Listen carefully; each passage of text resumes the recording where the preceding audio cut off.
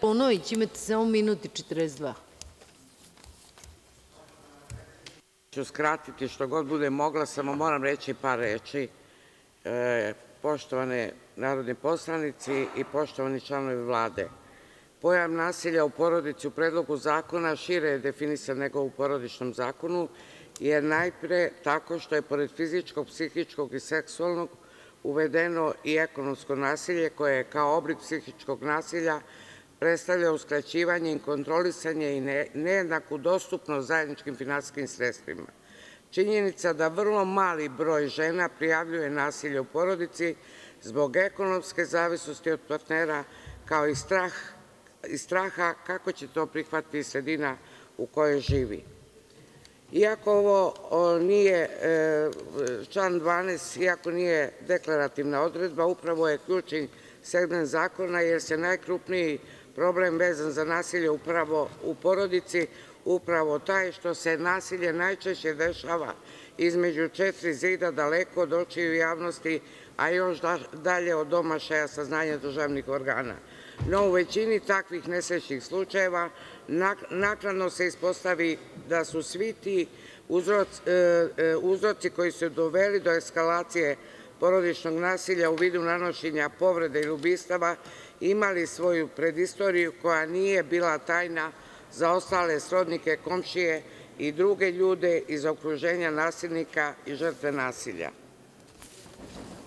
Poštovane koleginice i kolege, narodni poslanici, poslanička grupa PUPS-a će svakako podržati donošenje ovog predloga zakona, jer smatramo da je to dobar korak u borbi protiv sve više rasprostranjenog nasilja u porodici, a istovremeno apelujemo da se u toj borbi moraju primeniti i druga sredstva poput oštrije kaznene politike sudova, a što je važnije, stalnog rada na osvešćivanju naših ljudi da je porodično nasilje zlo kome se mora stati na put. Hvala vam. Hvala. Malo, samo još jednu rečenicu. Dobro. Poštovane građanke Srbije, obraćam vam se sa molbom da svaki vid nasilja prijavite bez ikakve bojazni da će vam se nešto loše desiti.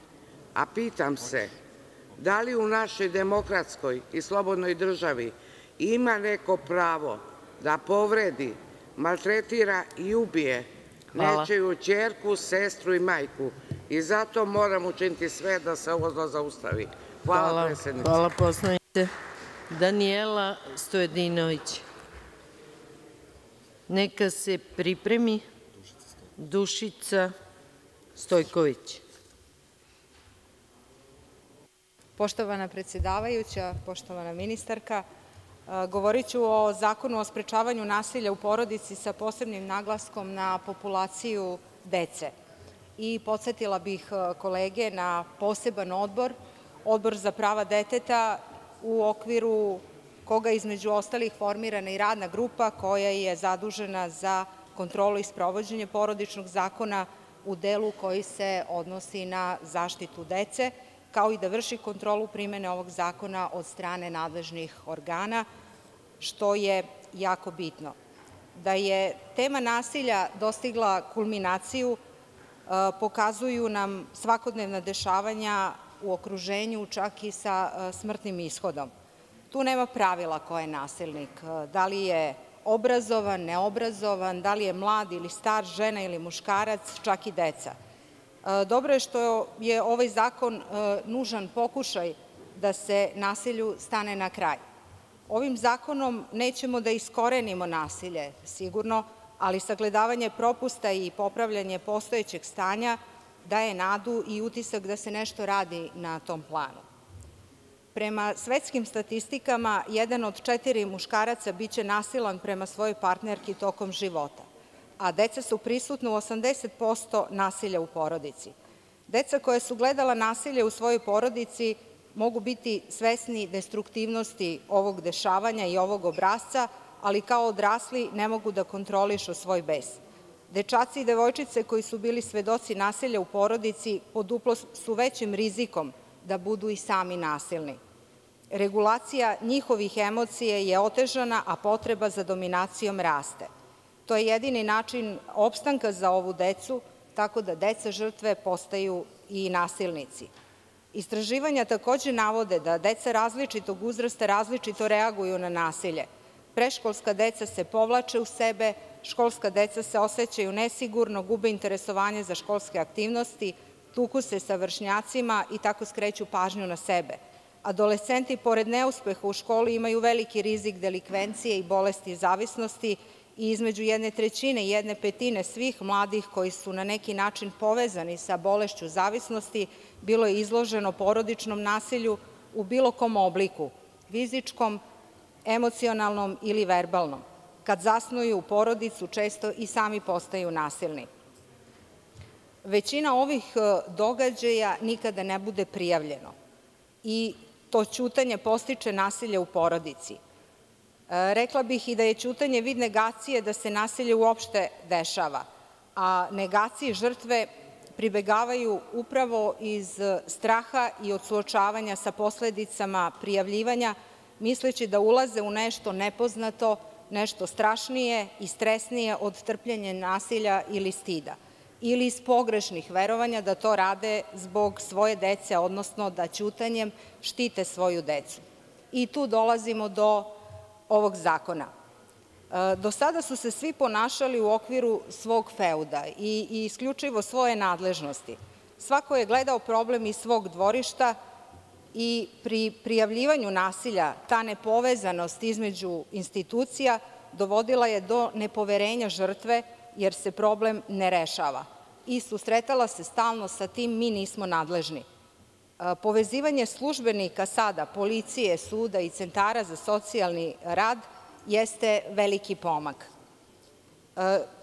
Jedino ta želja da se deca zaštite i taj snažan roditeljski poriv jeste u stvari veliki pokretački motiv da roditelji prijave nasilje, jer odatle sve i potiče, i da se potraže profesionalna pomoć, pomoć ovih institucija u koje će imati poverenje, jer to je od ključnog značaja.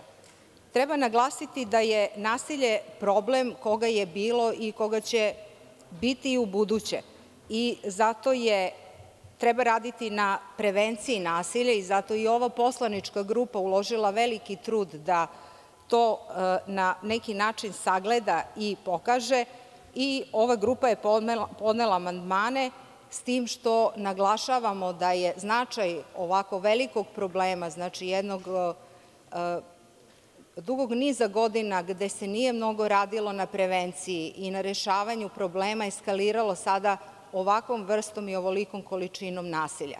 Tako da smo mišljenja da je prevencija nešto na čemu se mora raditi.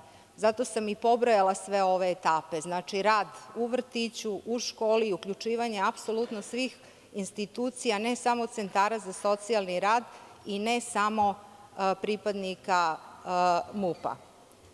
Naglašavam značaj ove nacionalne strategije za sprečavanje nasilja koje smo podneli u amandmanu, jer nasilje nije problem jedne institucije, nije problem pojedinca, nego je problem društva u celini. Zahvaljujem se. Dušica Stojković, neka se pripremi Stefana Miladinović. Poštovana predsednice, uvažena ministarka sa saradnicima, drage dame i gospodo narodni poslanici, dragi građani Srbije, borba protiv nasilja u porodici ne poznaje razlike u godinama, u polu, nacionalnosti, verskoj i etničkoj pripadnosti. U prethodnih deset godina zbog e, porodičnog nasilja u Srbiji je nastradilo 314 žena. U 2016. ta brojka je preko 20 žena koje su žrtve porodičnog nasilja. Svaka žena u Srbiji je pretrpela nekih od oblika nasilja. Kako bi se ova negativna statistika u Srbiji zaustavila, neophodno je izmeniti Krivični zakonik Srbije, neophodno je doneti i usvojiti Zakon o sprečavanju nasilja u porodici. Reč koja nam je nedostajala na političkoj sceni Srbije je doslednost. Imali smo danas prilike da slušamo razne narodne poslanike koji su uh, govorili o predloženim izmenama i dopunama uh, Krivičnog zakonika, koji su uh, predlagali više od 300 amandmana, ali nekako imamo i sledeću sliku. Imali su više od dve decenije da predlože parlamentu Srbije da se ovakav zakon usvoji, a to opet iz nekih razloga, njima možda dobro poznatih, nisu usvojili. Oni su odgovorni i za nečinjenje, oni su odgovori građanima Srbije, oni su odgovori ženama u Srbiji, oni su odgovori ženama, starim i deci koji su bile žrtve u prethodnih 10 godina, prethodnih 20 godina nasilja u porodici i nasilja na svakom mestu. Reč koja opisuje pojave na srpskoj političkoj sceni je licemerje.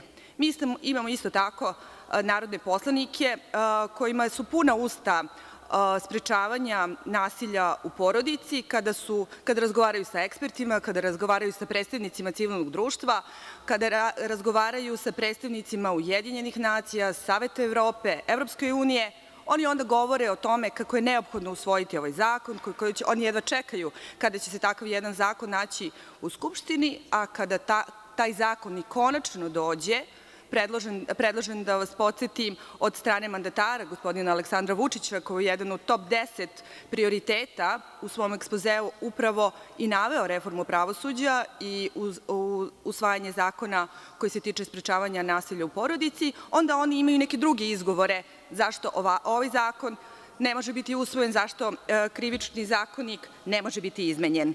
Znači, reč koja nedostaje da opiše ovu pojavu je, ponavljam, licemerje. Predloženi zakon o sprečavanju nasilja u porodici predviđa i specijalizovanu policiju. Neophodno je senzibilisati policijske službenike, neophodno je raditi edukacije i obuke za tužioce, neophodno je ojačati i osnažiti centre za socijalni rad. Problem koji do sada postoje u praksi, kada je reč o zakonskim zakonima koji su bili na snazi, je zapravo procedura po kojoj bi nasilnik bio iseljen iz porodičnog doma. Takođe, Krivični zakonik nije prepoznavao dela dela koje su nedostajale u srpskom zakonodavstvu je definisanje proganjanja, polnog uznemiravanja, navođenje deteta da prisustvuje polnim radnjama, prinudno zaključenje braka. Predlog predloženog zakona nisu samo žene. Ovaj zakon, želim da napomenem, odnosi se i na decu.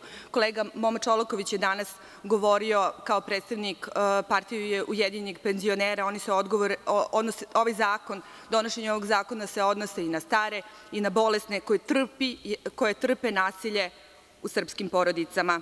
Do sada nije bilo problema, do sada je takođe bilo i problema u primeni zakona jer naši policajci i tužioci nisu bili dovoljno edukovani i bile su različite presude, različiti primeri u praksi. Ovim zakonskim rešenjem grade se mostovi između Ministarstva unutrašnjih poslova, grade se mostovi između tužilaštva, sudstva, sigurnih kuća koje postoje u ovoj državi, prihvatilišta. Napravljen je sistem, želimo da napravimo sistem kojim želimo da zaštitimo i potencijalne žrtve. Ja danas neću ulaziti u razloge zašto prethodni režimi, zašto prethodne vlade to nisu uradile, imali su priliku. Zašto nije bilo konsenzusa u tadašnjem DOS-u nakon promena od 2000. na ovamo, zašto nisu imali političke volje da jedno ovako zakonsko rešenje predlože i usvoje. Oni su dužni da svoje odgovore za nečinjenje daju građanima Srbije. Takođe, želela bih da ukažem i na jednu stvar na koju nakon usvajanja ovih zakonskog rešenja moramo da radimo u praksi, a to je prevencija. Imamo pozitivne primere u praksi Ujedinjenih nacija, pozitivne primere koji predstavljaju kampanje Podignemo glas protiv nasilja, u kojoj su obuhvaćene ciljne grupe uzrasta od 5 do 25 godina. Znači, moramo početi na vreme da radimo o prevenciji, moramo razgovarati sa dečacima, sa devojčicama, sa muškarcima, moramo ove promene koje nastoje obuhvatiti i mušku populaciju, ne samo žene.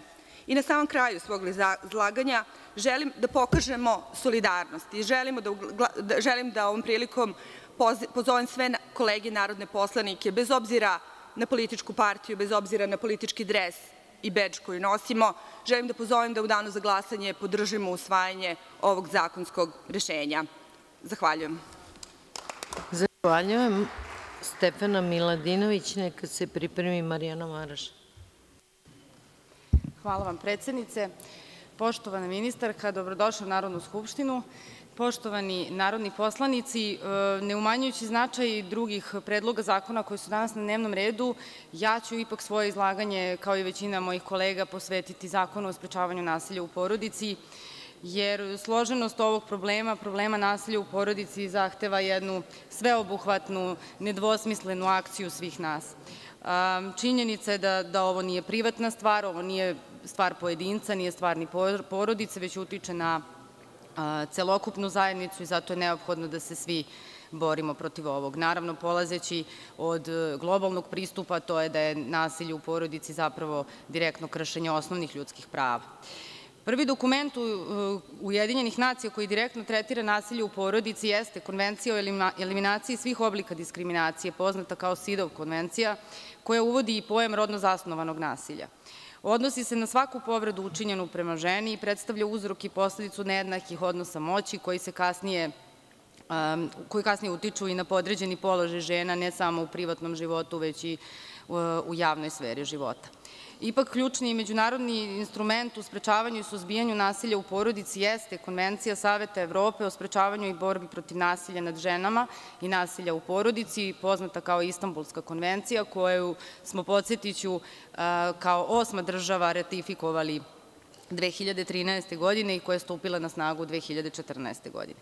Kada smo ratifikovali Istanbulsku konvenciju, Republika Srbija uložila takozvane rezerve na pojedine odredbe konvencije koje su se ticale usklađivanja našeg zakonodavstva sa konvencijom, pogotovo neke odredbe Krivičnog zakona o čijim izmenama i dopunama danas razgovaramo, a podsetiću da Istanbulska konvencija obavezuje države potpisnice da inkriminišu oblike nasilja kao što su psihičko nasilje, proganjanje, fizičko nasilje, seksualno nasilje i silovanje, prinudni brak, genitalno sakaćenje žena, prinudni abortus, prinudna sterilizacija, seksualno uznemiravanje, ali takođe podstrekavanje i pomaganje u izvršenju ovih krivičnih dela.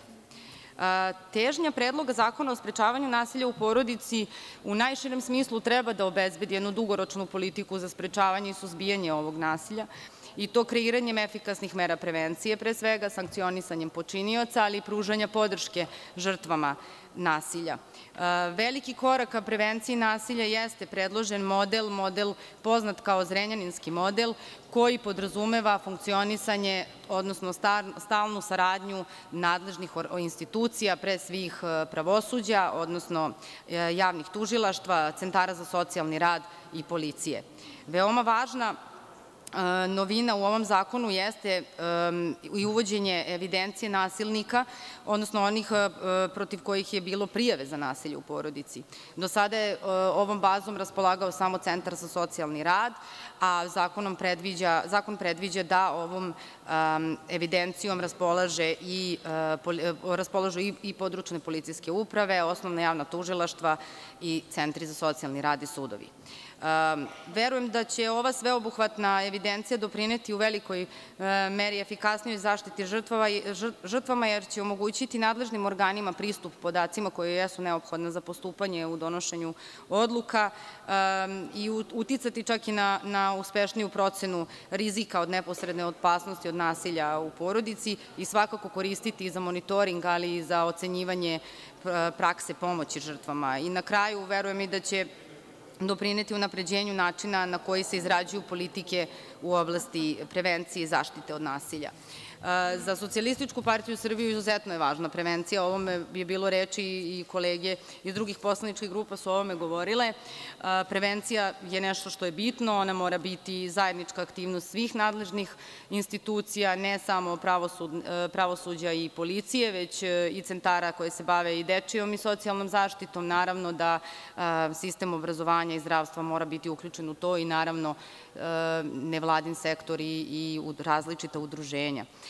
Mi smo, kada je u pitanju prevencija, o tome su i moje koleginice govorile, podnele amandman na član 6. Predloga zakona koji se upravo tiče prevencije i podrazumeva i donošenje nacionalne strategije koja bi eventualno kao srednjoročan i planski dokument od perioda od pet godina mogao da definiše i programe i mere i subjekte koji bi bili obuhvaćeni ovom prevencijom. Osvrnula bih se ukratko i na izmene i dopune Krivičnog zakona o kojem danas razgovaramo takođe i koji obuhvata izvesne izmene i dopune zakona i svakako uvođenje novih krivičnih dela, kao što su proganjanje, polno uznemiravanje, prinudni brak, genitalno sakaćenje žena, što jeste upravo naša obaveza kao potpisnica Istanbulske konvencije.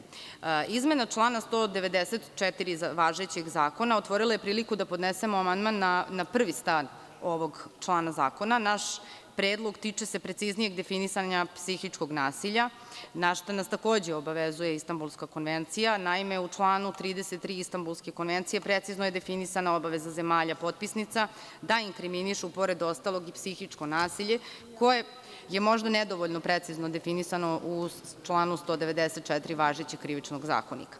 Smatramo da je ovo neophodno, da je neophodno razdvojiti fizičko i psihičko nasilje i da je ovo izuzetno važno i u pogledu prevencije, budući da psihičko nasilje u najvećem broju slučajeva porodičnog nasilja i prethodi fizičkom nasilju. U skladu sa odnosom države kada je u pitanju nasilje u porodici, a to jeste stav nulta tolerancija prema nasilju u porodici, mi ćemo kao poslanička grupa podržati predloge svih zakona, Predlog zakona o sprečavanju nasilja u porodici i izmene i dopune Krivičnog zakona, uz jedan osvrt da bez obzira na broj od 347 podnetih amandmana, ja verujem da ima kvalitetnih amandmana koje možete da razmotrite. Nadam se da ćete i naše usvojiti, ali svakako postoje amandmani drugih poslaničkih grupa koje treba uvažiti. Hvala. Hvala. Marijana Maraš, neka se pripremi Vesna Ivković. Ako vremena. Poštovana predsednice, uvažena ministarko sa saradnicima, dame i gospodo narodni poslanici, ja ću se u svom izlaganju osvrnuti na Predlog zakona o sprečavanju nasilja u porodici.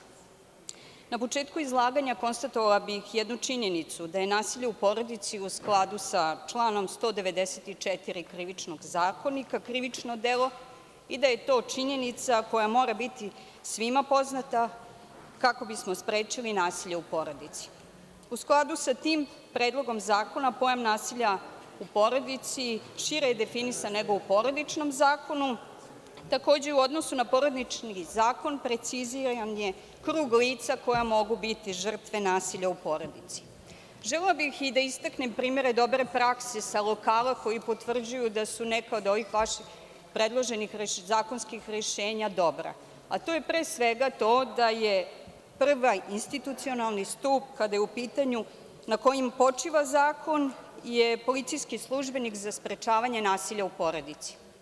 Komisija za praćenje i ostvarivanje rodne ravnopravnosti u opštini Vrbas, koja je formirana 2005. godine, a od 2006. godine organizuje u okviru 16 dana aktivizma protiv nasilja nad ženama okrugli sto sa temom porodično nasilje, uspela je da okupi iz godine u godinu predstavnike svih relevantnih institucija, počev od Centra za socijalni rad, policijske stanice, doma zdravlja, nevladinog sektora, Nacionalne službe za zapošljavanje, tužilaštva, suda, predstavnika osnovnog i srednjeg obrazovanja i mi iz godine u godine analiziramo podatke koje nam oni dostavljaju u Komisiji za praćenje i ostvarivanje rodne ravnopravnosti. Ti podaci ukazuju upravo na to da se povećava poverenje upravo u policijske službenike i da su oni ti koji u najvećem broju slučajeva i sve više iz godine u godinu prijavljuju nasilje. Ono što je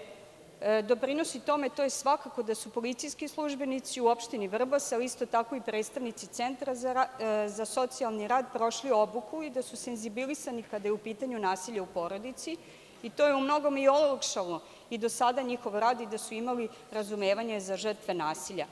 Iz tog razloga i ovaj okrugli sto postao primer dobre prakse kada je u pitanju pokrajinska strategija za nultu toleranciju prema nasilju, a isto tako želim da istaknem i da su lekari u Domu zdravlja Veljko Vlahović u Vrbasu prošli obuke Autonomnog ženskog centra i da su oni ti koji mogu da dokumentuju nasilje.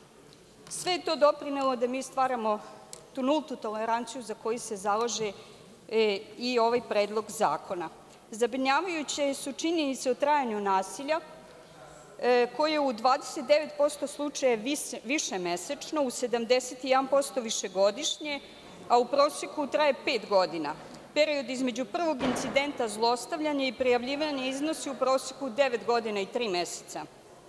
stvarna saradnja različitih aktera u pogledu suzbijanja i sprečavanja nasilja u porodici, kako ste naveli u obrazloženju zakona, nije bila adekvatna.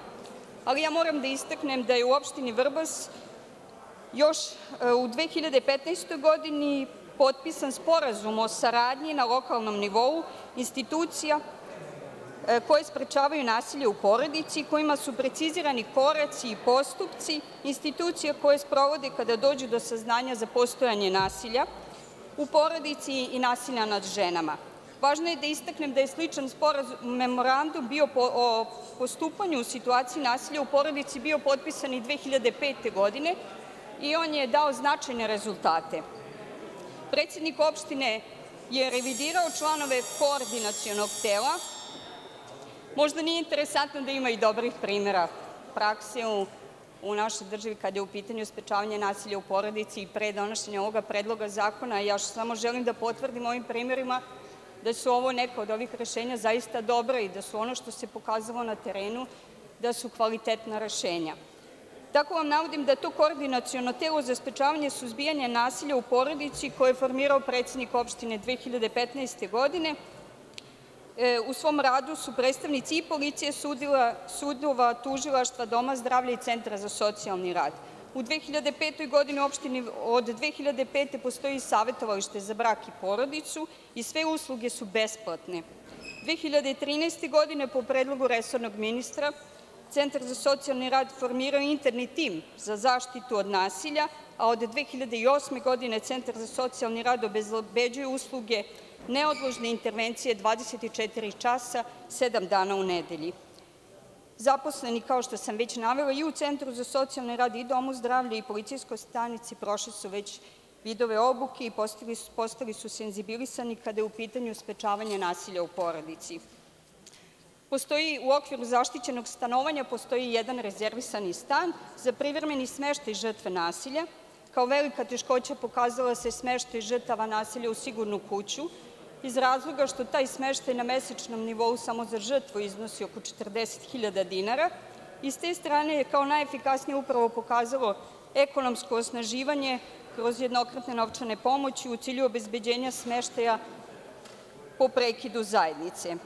Žela bih ovde da, da naglasim, ja sam i podnela jedan amandman koji pod osnaživanjem žene podrazumeva i ekonomsko osnaživanje i želim da istaknem još jedan dobar primer u Vojvodini gde je e, pokrenut program zapošljavanja žena žrtava nasilja. Ova mera je podrazumevala refundiranje bruto zarade u trajanju od 12 meseci poslodavcima koji zaposle ženu žrtve nasilja i kroz ovaj program zaposleno je 20 žena.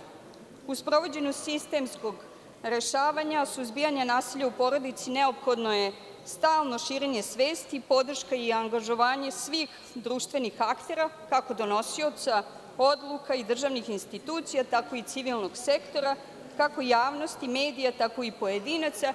I u skladu sa ovim ja sam i u, u tom smislu predložila još jedan amandman na član 6 da se uključe i telo za rodnu ravnopravnost na lokalnom nivou koje su tamo gde su formirane jedan od Hvala, potrošili ste vreme grupe. sprečavanje nasilja. Zahvaljujem. Vaša poslanička potrošila vreme grupe. Marko Atlagić, izvolite.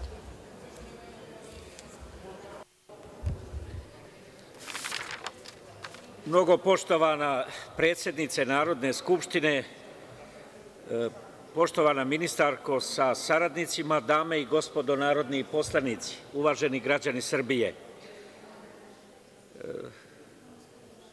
Poštovana predsednice, prenesite e,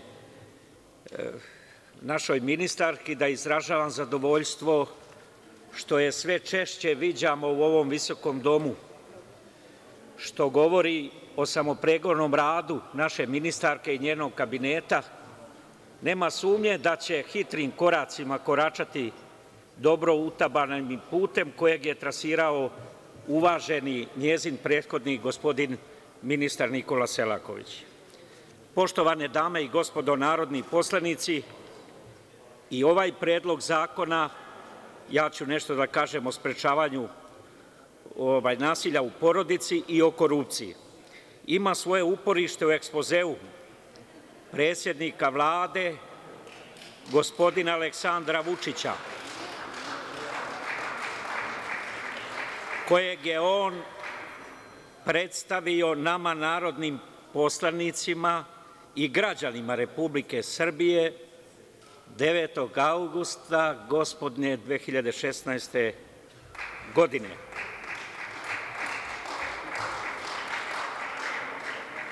Dajem na znanje, gospodo narodni poslanici, vama, a i građanima Srbije, da je ekspoze predsednika Vlade, gospodina Vučića, najtransparentniji,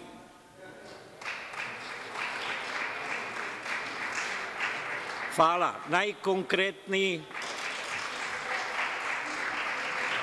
najveći 260 strana. I najbolji.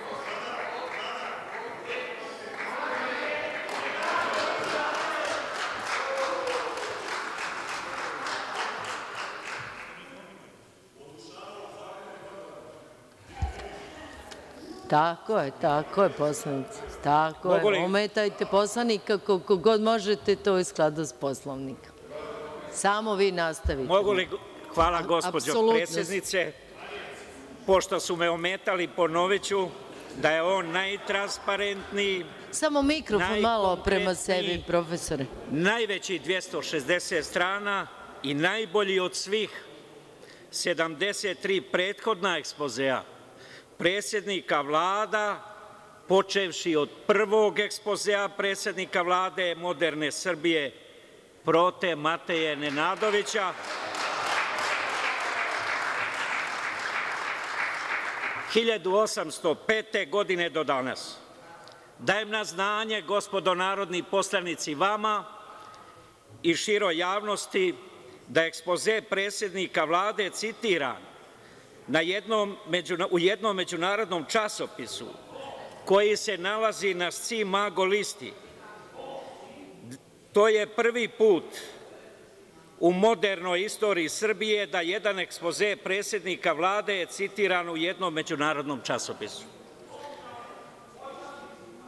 Na stranici 86 ekspozea predsednika Vlade, gospodina Aleksandra Vučića, piše, citiram, što se suzbijanja porodičnog nasilja tiče, u proteklom periodu broj prijavljenih slučajeva je povećan za 32,4%, što znači da ih je više. Naprotiv, rekli bismo da ih je značajno manje, ali to znači da su se ljudi, posebno žene, ohrabrile da dolaze pred nadležne organe. Zato ćemo doneti jedan novi zakon, zakon o suzbijanju porodičnog nasilja, završen citat.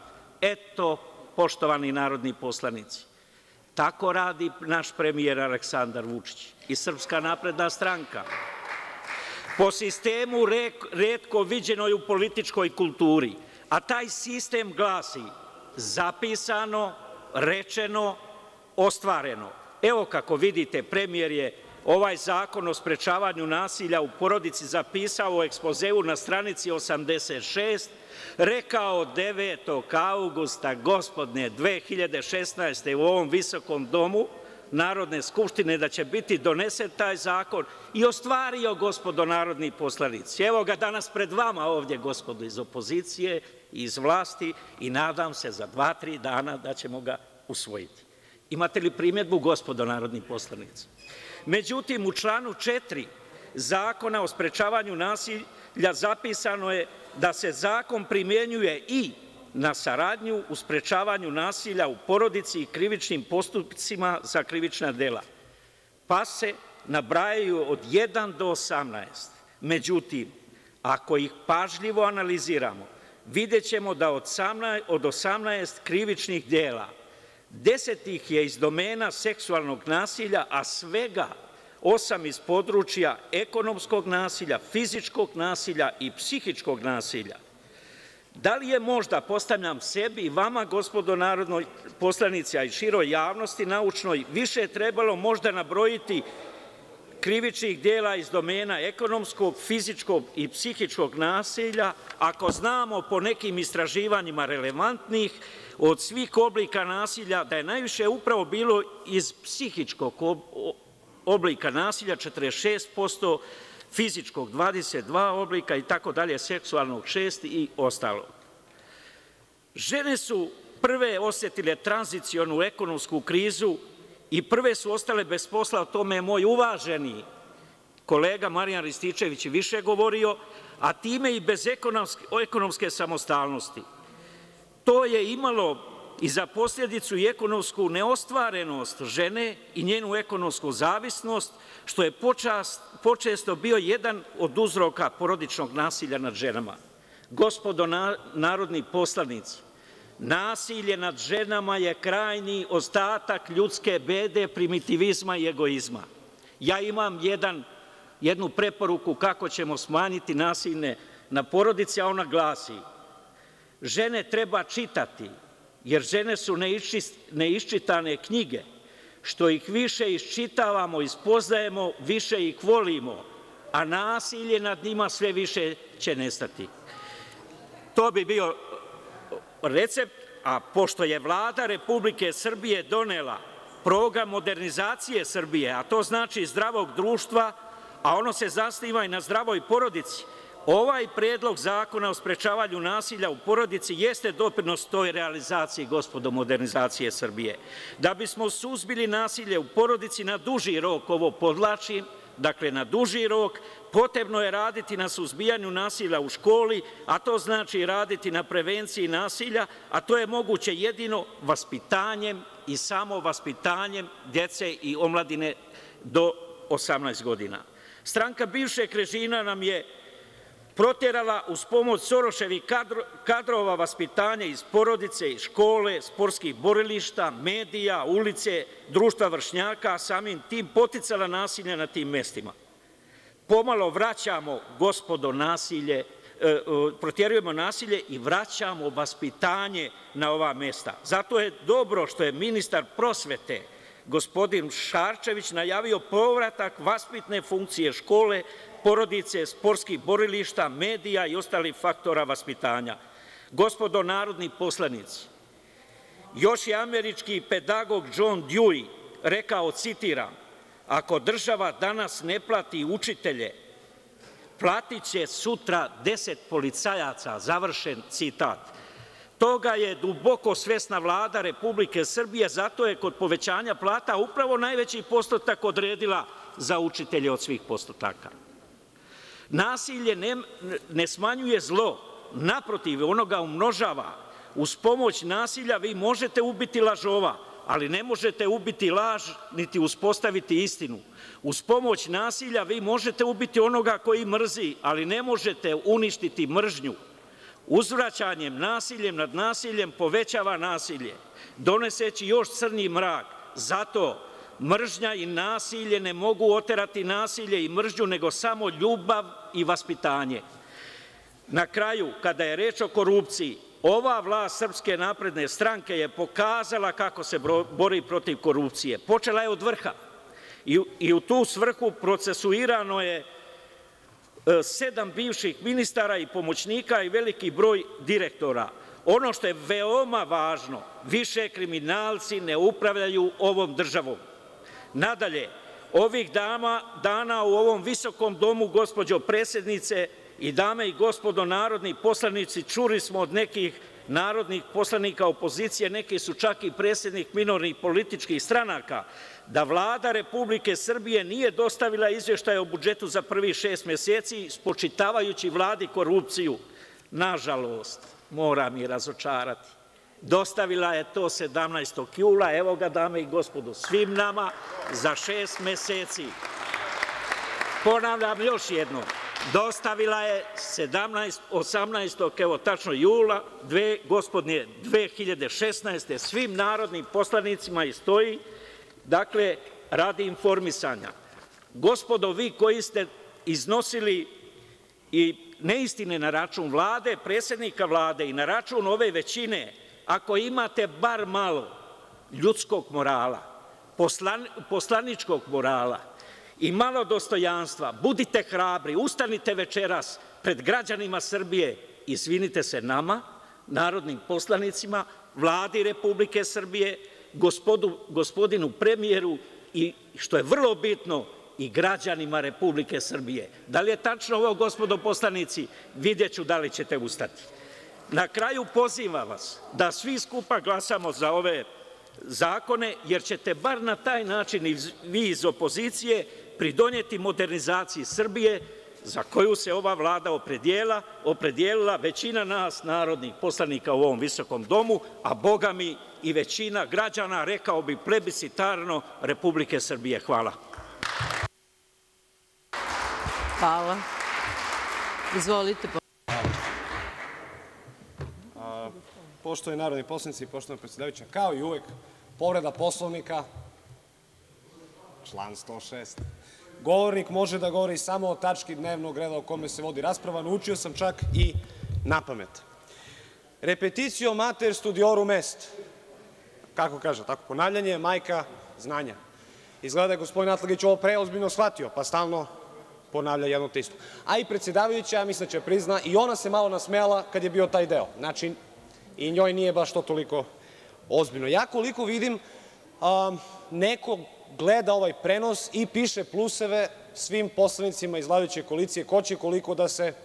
Povredu Poslovnika meni i šta sam Ne, ne, ja ne vama, uradila. ne vama, ne vama, samo, samo Zatlagića. Pa samo sad obrazlažem. Niste komentator ponašanja poslanika u sali.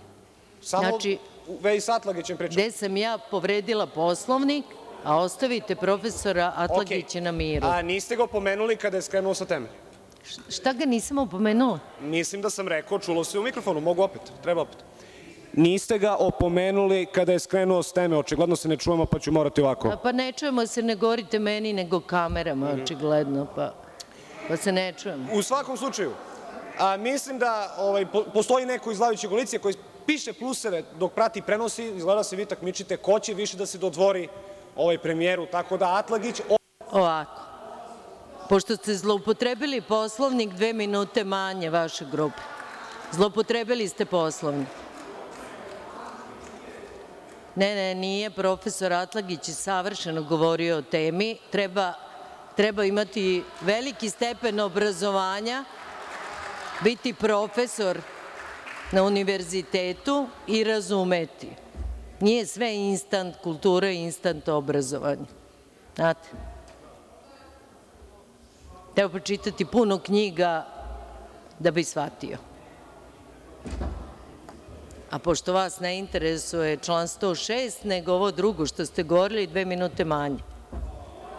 Tako je. Jeste poslanička grupa koja stalno pominje na pridržavanje Poslovnika. Tako da, izvolite vi.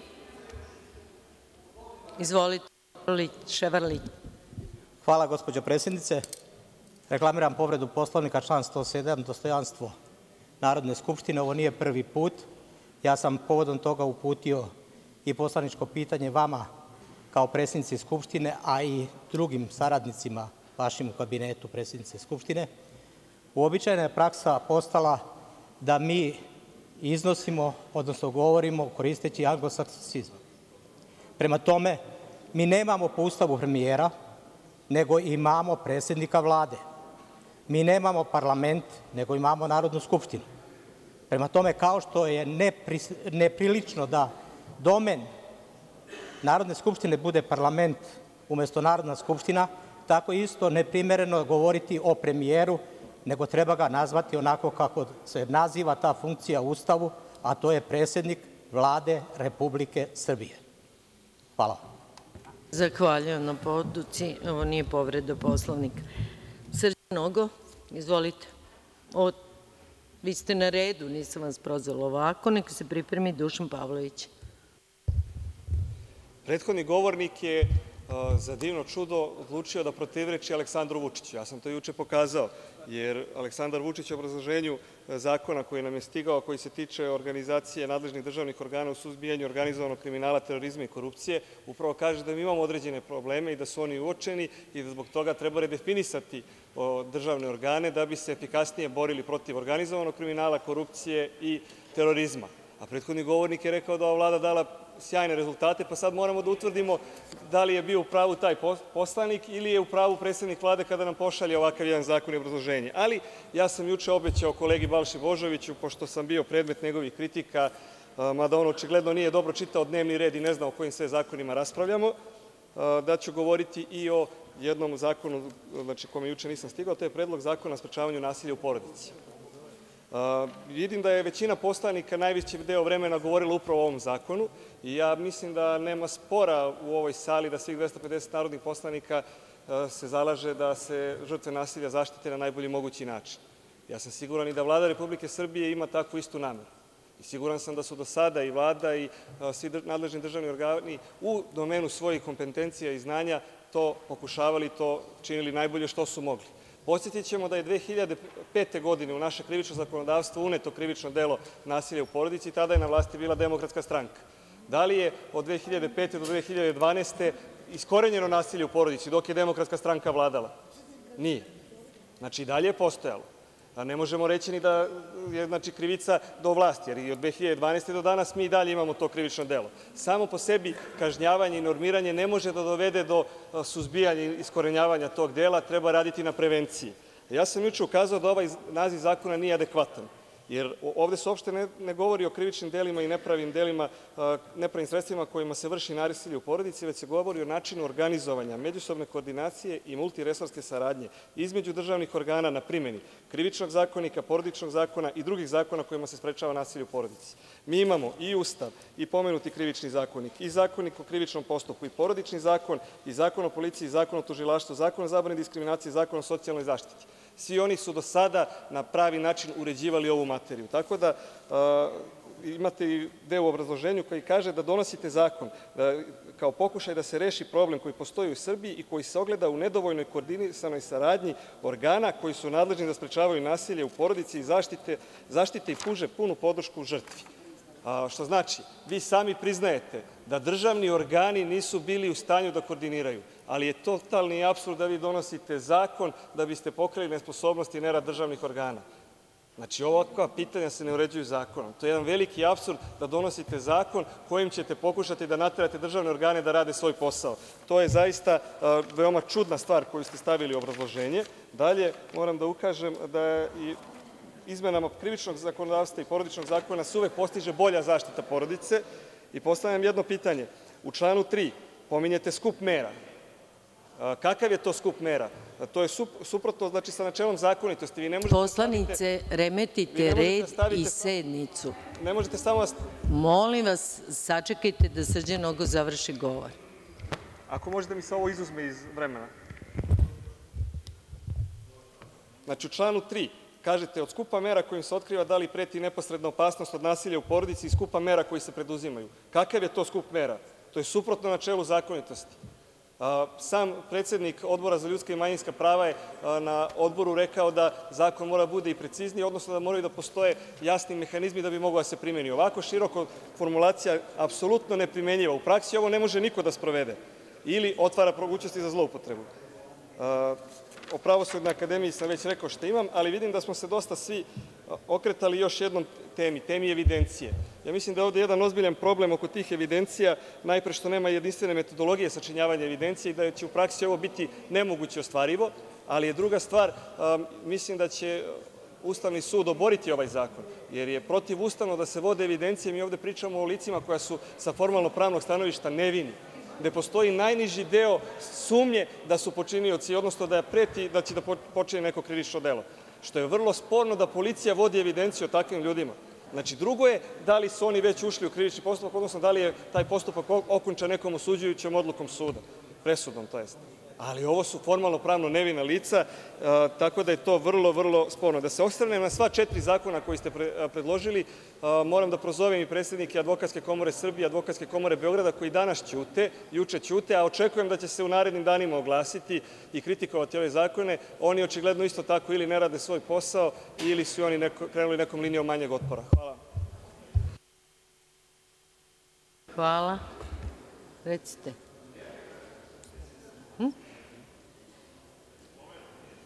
Neko je obećao sam Balši Božoviću.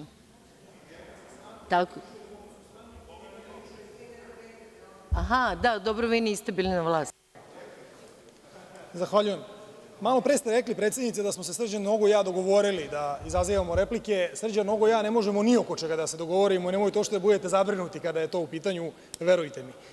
E, posebna, posebno mi je zanimljivo kada pričamo o nasilju u porodici, potpuno su gluposti, neću da se obazirem, 2005. godine Demokratska stranka i nije bila na vlasti, Demokratska stranka je često kriva što postoji mnogima od vas, ali dobro.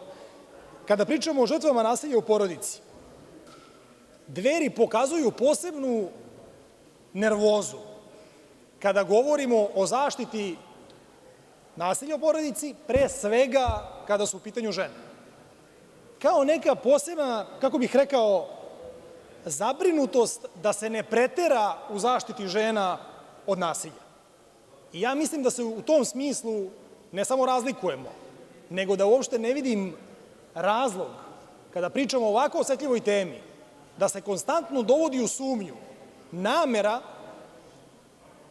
ovog zakona, koji nije potpun, predloga zakona, pardon, koji nije potpun i mi ćemo ga ispravljati amandmanima, ali očigledno postoje, dakle, politike u ovoj sali koje ne vide to uopšte kao problem.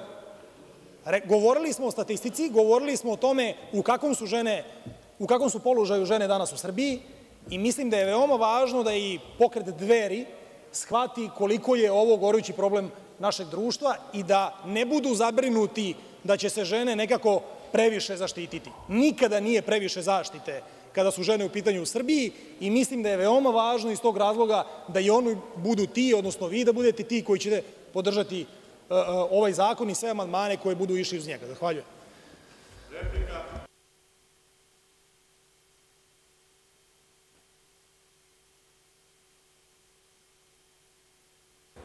Sačekajte samo trenutak. Gospodine Obradoviću, nemate pravo na repliku. Nemate pravo na repliku.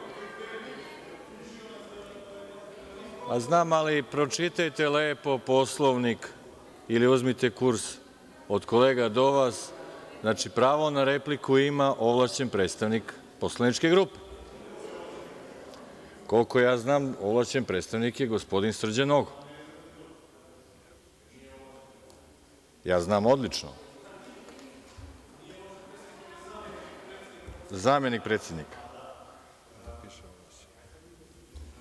A zašto ste ga onda vlastili?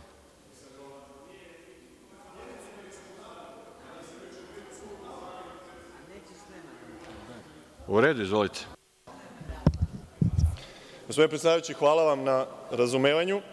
Važno je da smo razjasnili ovaj detalj. E, gospodin Balša Božović je zaista na jedan krajnje nekorektan način e, potpuno pogrešno protumačio poziciju Dveri u vezi sa ovim zakonom o sprečavanju nasilja u porodici.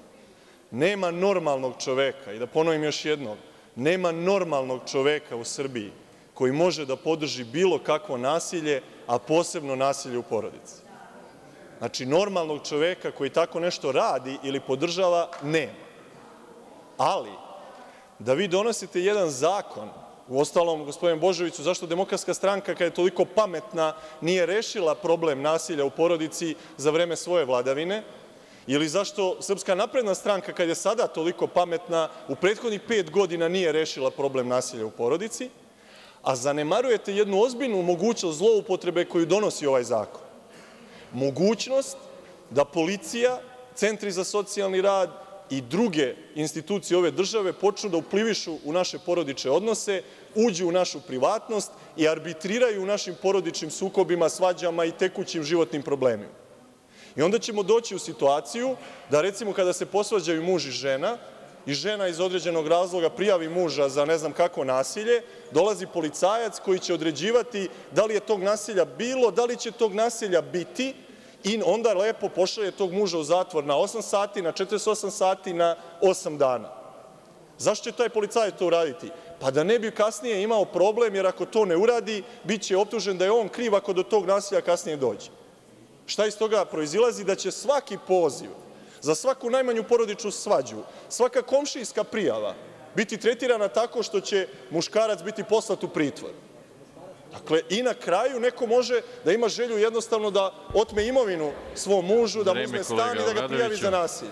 Dakle, zloupotrebe ovoga zakona su ogromne. Mogućnost zloupotrebe je ogromna. O tome Dveri govore.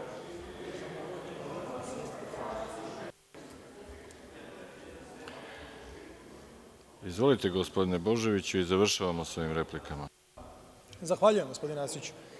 Dakle, stvar je u tome što postoji osnovno nerazumevanje šta je intencija upravo mojih kolega iz Demokratske stranke, koji su u prethodna dva saziva predlagali zakone koje, doduše, vladajuća većina nije htela ni da stavi na dnevni red. To su zakoni o oduzimanju oružja nasilnicima u porodici. To je zakon o udaljavanju nasilnika na dve nedelje iz domaćinstva. E, sada vi kažete da je to privatna stvar. Ne može nasilje da bude privatna stvar neke porodice.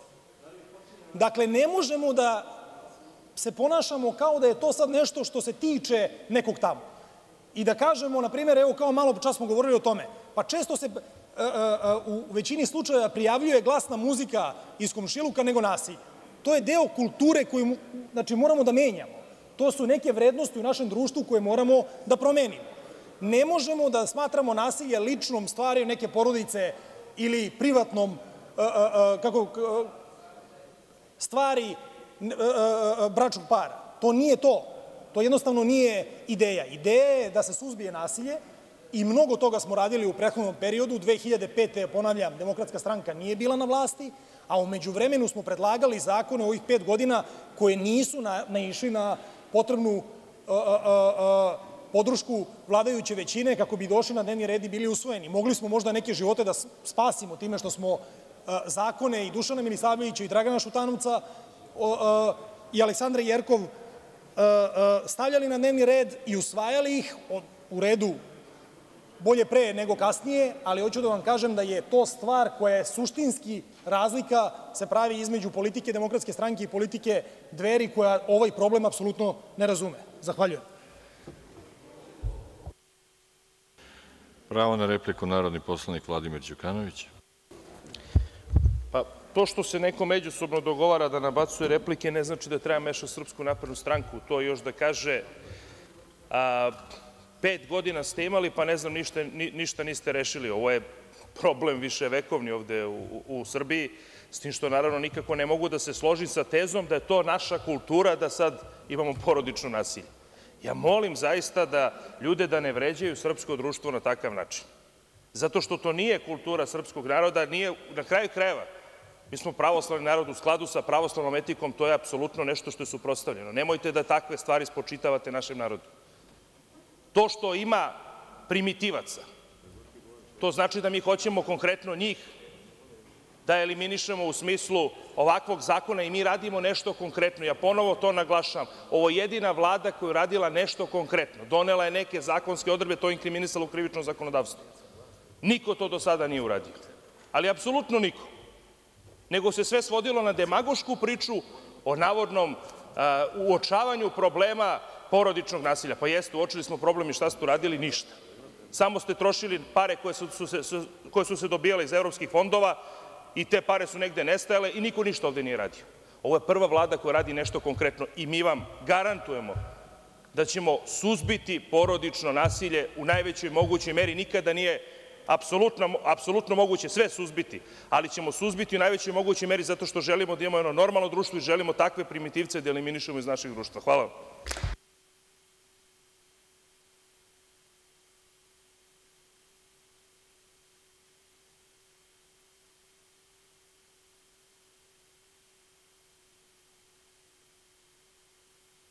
Nastavljamo dalje. Reč ima narodni poslanik Ana Stevanović. Izvolite. Zahvaljujem se, predsedavajući.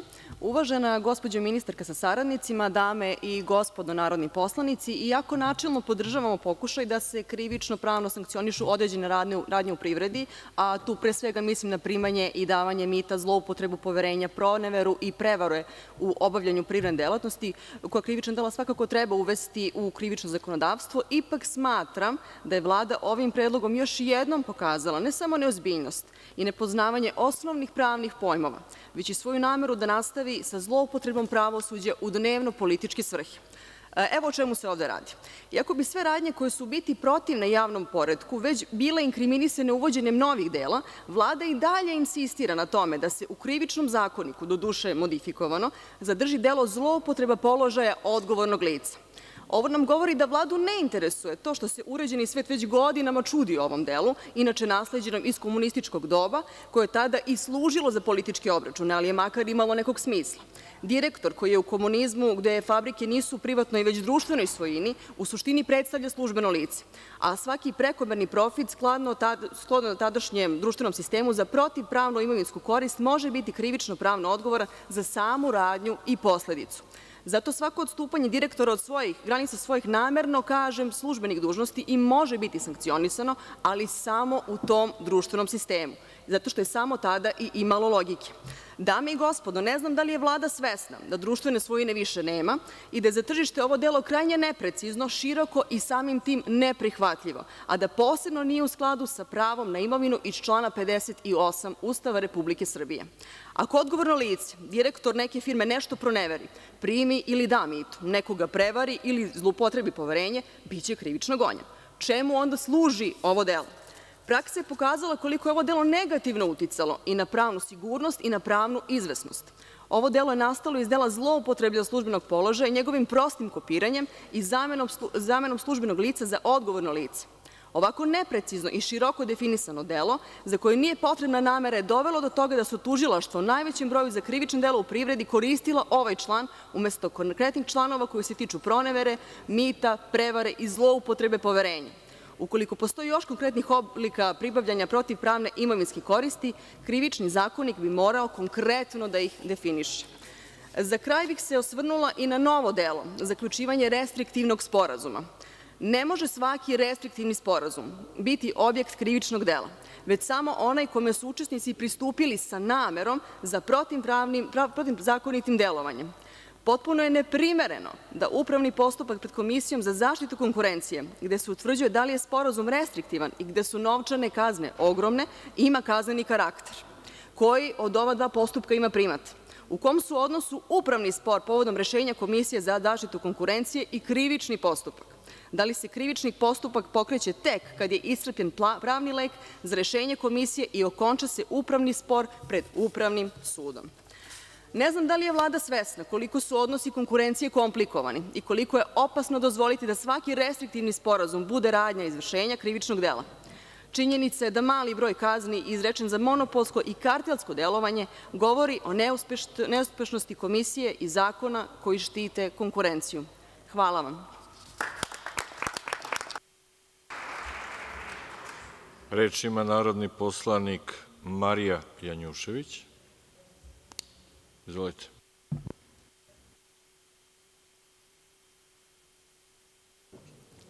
Zahvaljujem, predsedavajući.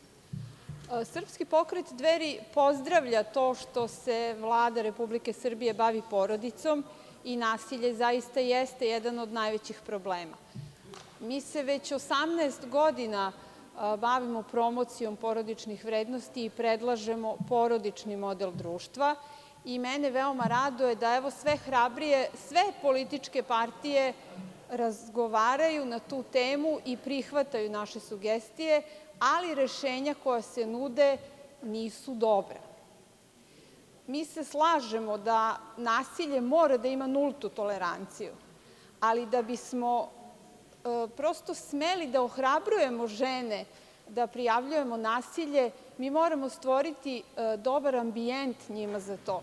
Žena ima mogućnost da bude mesec dana u sigurnoj kući, mi je zakonom štitimo dva meseca tako što ćemo udaljiti nasilnika, ali šta posle? Jako mi je žao što smo ovde mogli da čujemo vređanje žena koje nisu obrazovane. Ne trpe one nasilje zato što su neobrazovane, već zato što su mudre, zato što su procenile da ih niko neće trajno štititi, jer će nasilnik da se vrati i da se sveti. Dakle, mi moramo stvoriti pravi ambijent koji podrazumeva njenu ekonomsku nezavisnost, primenu zakona, da makar primenjujemo postojeće zakone. Mediji tu imaju strašno veliku ulogu. Zašto ne bi prikazivali fotografije nasilnika i objavljivali podatke o tome šta je pravosuđe uradilo, kako su ti nasilnici kažnjeni, a ne da sebi podižu tiraž tako što će unakažene žene stavljati na naslovne stranice. I na kraju, pravilna procena prioriteta. Ali mi trenutno u vrhu države imamo šampiona u lošim procenama i Dveri će se potruditi da to promene. Hvala. Zahvaljujem. Gospodine Obradović, imate nešto više od minuta. Hvala.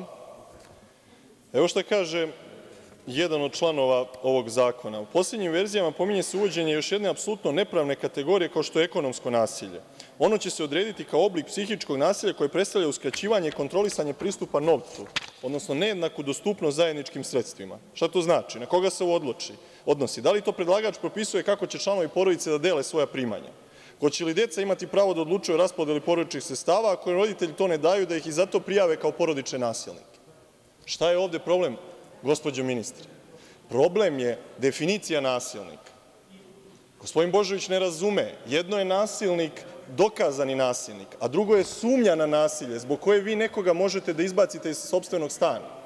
Dovoljno je da ga neko prijavi, komšija, žena, bilo ko, i vi na osnovu te sumnje jednostavno nekoga možete da uhapsite, da ga pritvorite, da mu oduzmete imovinu, da mu oduzmete dete. Gde je granica zloupotrebe ovakvog novog pravnog instituta koji vi ovde uvodite? I gde je granica vašeg uplivisanja u porodičnu i privatnu stvar? To je tema koju ovde Dveri postavljaju, a naravno da smo svi za to da se ograniči bilo kakvo nasilje, da se kazne nasilnici, da se ne dozvoli nasilje nad bilo kime, ne samo nad ženama, nad starijim licima, nad decom, nad bilo kime. Privodite kraju, kolega Obradoviću. Dakle, poenta je priče nemojte da dozvolimo da zakon ostavi mogućnost za zloupotrebu pravnog instituta, za preširoku definiciju nasilja i da onda neko to može da zloupotrebi za razne obračune sa onima kojima se ne sviđa. Zahvaljujem. Po kom osnovu? Ma to što ste se vi dogovarali, to što ste se vi dogovarali, povreda Poslovnika. Dobro. Gospodine Arsiću, ne možete da vi meni kažete da sam se ja sa nekim dogovarao i na osnovu toga da mi date repliku ili ne. Svi uslovi za repliku su ispunjeni. 104. Znate vi vrlo dobro koji član. Gospodine Martinoviću, ako ne znate, pročitajte Poslovnik. Poslanik ste toliko dugo. Dakle, ne možete na osnovu toga što vi sumnjate da smo se mi dogovorili. Nismo se dogovorili jer ne možemo ni oko čega da se dogovorimo, gospodin Obradović i ja. A ako me napada zbog toga što ja nešto ne razumem, onda je red da mi date pravo na repliku. A hteo sam da kažem da je upravo taj amandman koji smo mi podneli, amandman koji glasi da se stav 5 člana 194. Krivičnog zakona ostavi. Upravo ulazite u repliku, gospodine Božoviću. Pa dobro, dajte mi pravo na repliku. Ne možete da dobijete pravo na repliku. A zbog čega? Sad ću da vam objasnim. Prvo, to što je kolega Martinović od vas tražio primenu člana 100, da se izjasnite znači na osnovu kog člana reklamirate Poslovnik, regulisano je članom 103, a to znači da morate i da prijavite član za koji smatrate da je povređen.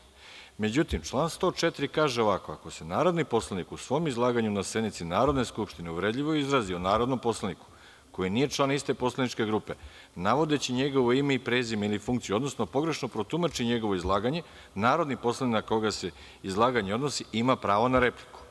Ako se uvredljivi izrazi odnose na poslaničku grupu, odnosno političku stranku čiji narodni poslanici pripadaju toj poslaničkoj grupi, u ime poslaničke grupe pravo na repliku ima predsednik poslaničke grupe ili ovlašćeni, naravno, ima i taj član koji to reguliše. Ovo čitam zbog građana, ne zbog vas, vi to jako dobro znate. O korišćenju prava iz stava 1. i 2. ovog člana odlučuje predsednik Narodne skupštine. Znači, predsedavajući određuje da li je bilo uvredljivog izlaganja nekog kolege poslanika ili je neko pogrešno protumačen. Znači, nikako nisam mogao da prekršim taj član, a imam iskustva da vi možete, da biste dobili dva minuta, da se dogovorite sa mnogima. Sada ima pravo na povredu Poslovnika kolega Aleksandar Martinović.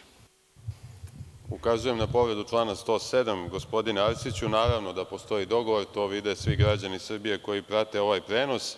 Ja ću malo da prozovem tebe, pa ti posle prozovi mene, pošto više vremena nemamo, imamo malo poslanika, pa da bismo dobili na vremenu, malo će jedan da proziva drugog, malo drugi ovog prvog i to je politička igra koja je vrlo jasna. Naravno da mogu da se dogovore. Jedan je u izbornoj noći tukao ženu, a drugi ima predsednika koji je ženi, koji je ženi, dakle, stavljao novac u grudi u martu 2012. godine u hotelu „Đerdap“ i naravno da takva dvojica mogu da se dogovore, zato što su i jedan i drugi suštinski, suštinski i jedan i drugi su protiv koncepcije da se zakonom spreči nasilje u porodici i nasilje nad ženama. Jedan je vršio nasilje direktno fizički, a drugi ima predsednika koji je ponižavao ženu, koji je ponižavao ženu, koji je sa nagog ženskog tela, on i njegove partijske kolege, jeli šunku, sir, grožđe i lubenice. I to vam je danas pokazao na fotografijama Marijan Rističević.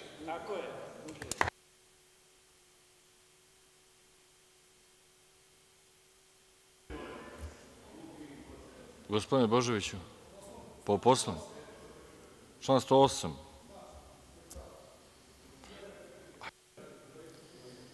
Član 108.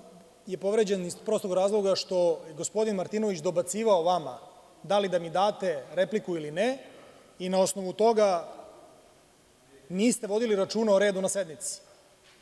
Ne možete da dozvolite gospodinu Martinoviću da zloupotrebljava Poslovnik i da priča besmislice, jer takve besmislice utiču, gospodine Arsiću, na to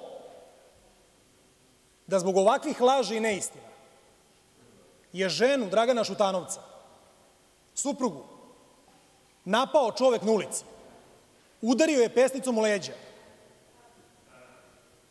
i taj slučaj je prijavljen policiji, jer nikome nije palo na pamet da zloupotrebljava u političke svrhe tako skaradan čin. Zbog ovakvih stvari koje govori gospodin Martinović, to se dešava svakodnevno. I desilo se jednoj ženi, ženi predsednika Demokratske stranke, a vi dozvoljavate da na ovaj način dovodite u nepriliku nečiju porodicu. E, to je sramota, gospodine Arsiću. Ovo je rečnik koji dovodi do nasilja, kako u porodici, tako i na ulici. Ko se dogovorio? Šešeljev?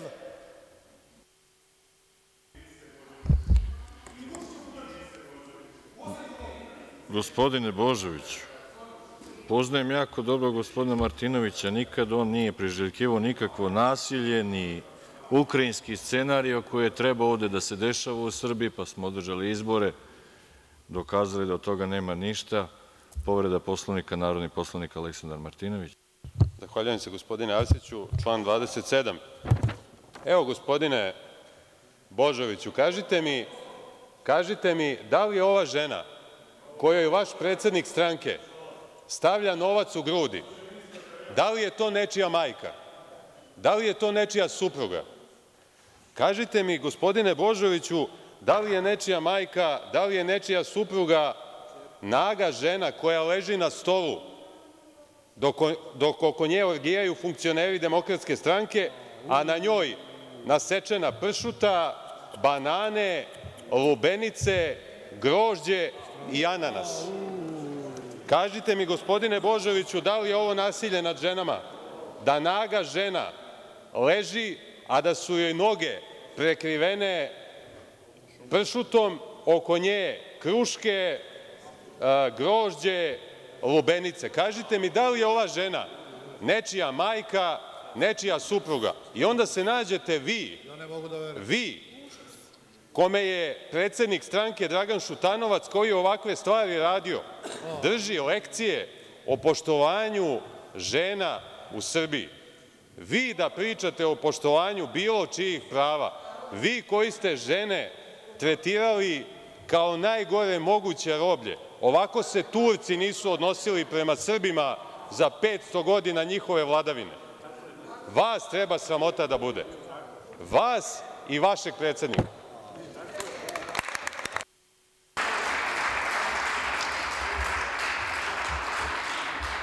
U skladu sa članom 112. Poslovnika, određujem pauzu u trajanju od pet minuta.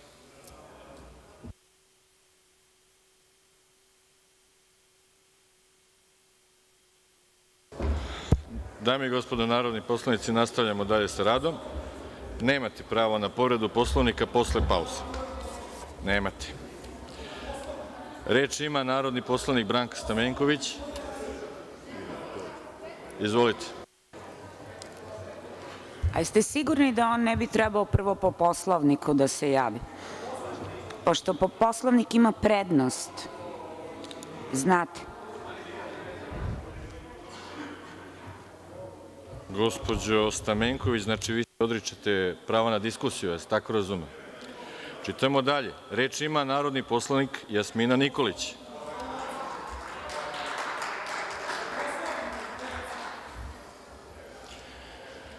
Reč ima narodni poslanik Vladimir Đurić.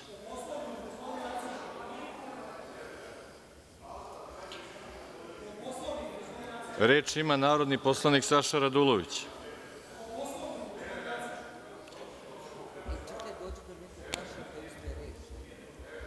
Gospodine uh, Martinoviću, da li želite i vi reč ili ste odustali?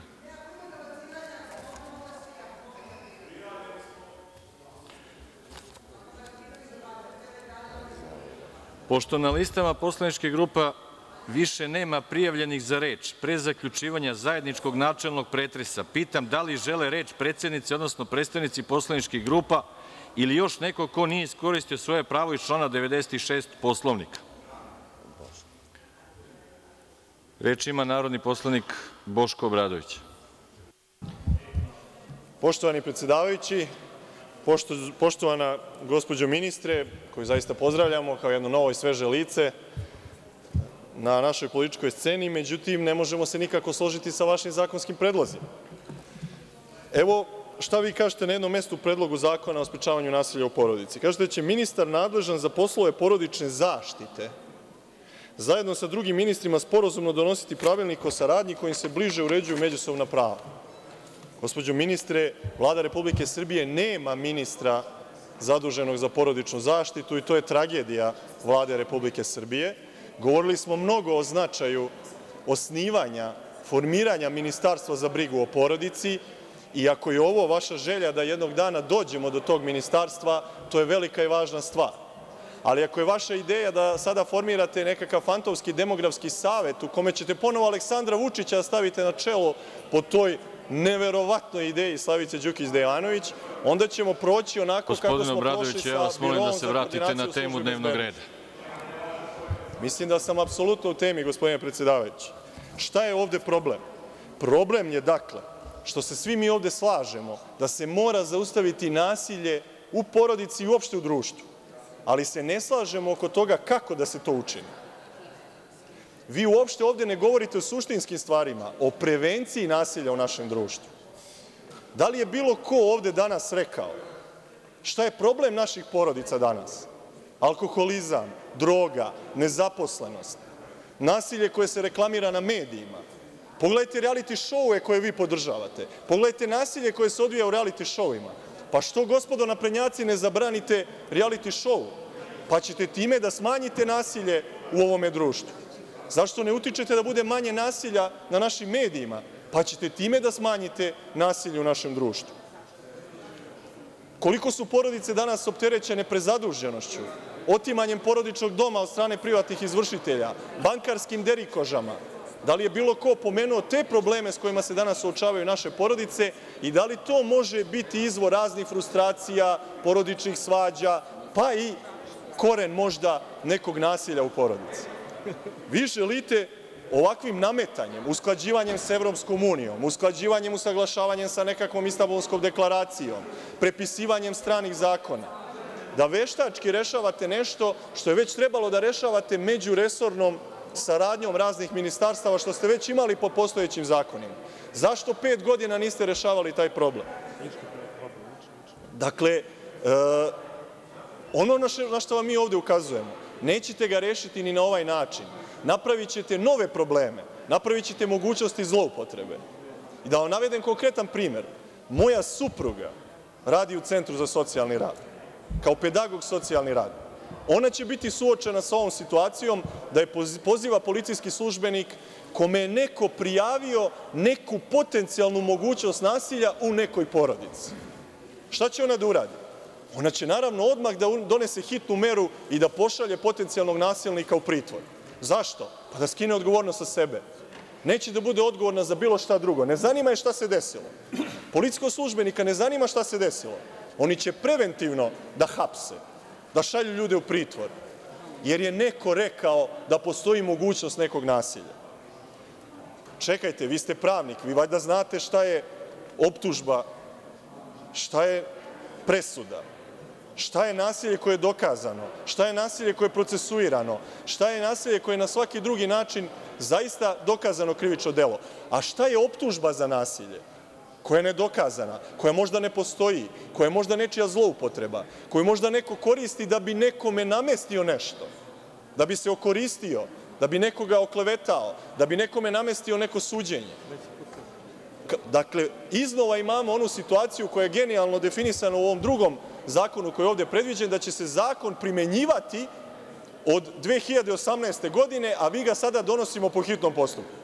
E, to vam je politički futurizam Srpske napredne stranke. Evo samo što nije, evo za dve do dve i po godine će se bolje živeti i onda donosite zakon po hitnom postupku koji se primenjuje 2018. godine. To vam je slika Srpske napredne stranke. Zahvaljujem kolega Obradoviću. Reč ima narodni poslanik Marinika Tepić. Zahvaljujem predsedavajući, uvaženi gosti, članovi Republičke vlade, koleginice i kolege narodni poslanici. Onoliko koliko sam čula u trajanju prethodne rasprave, gotovo da niko nema dilemu da je potreba ovog zakona neupitna.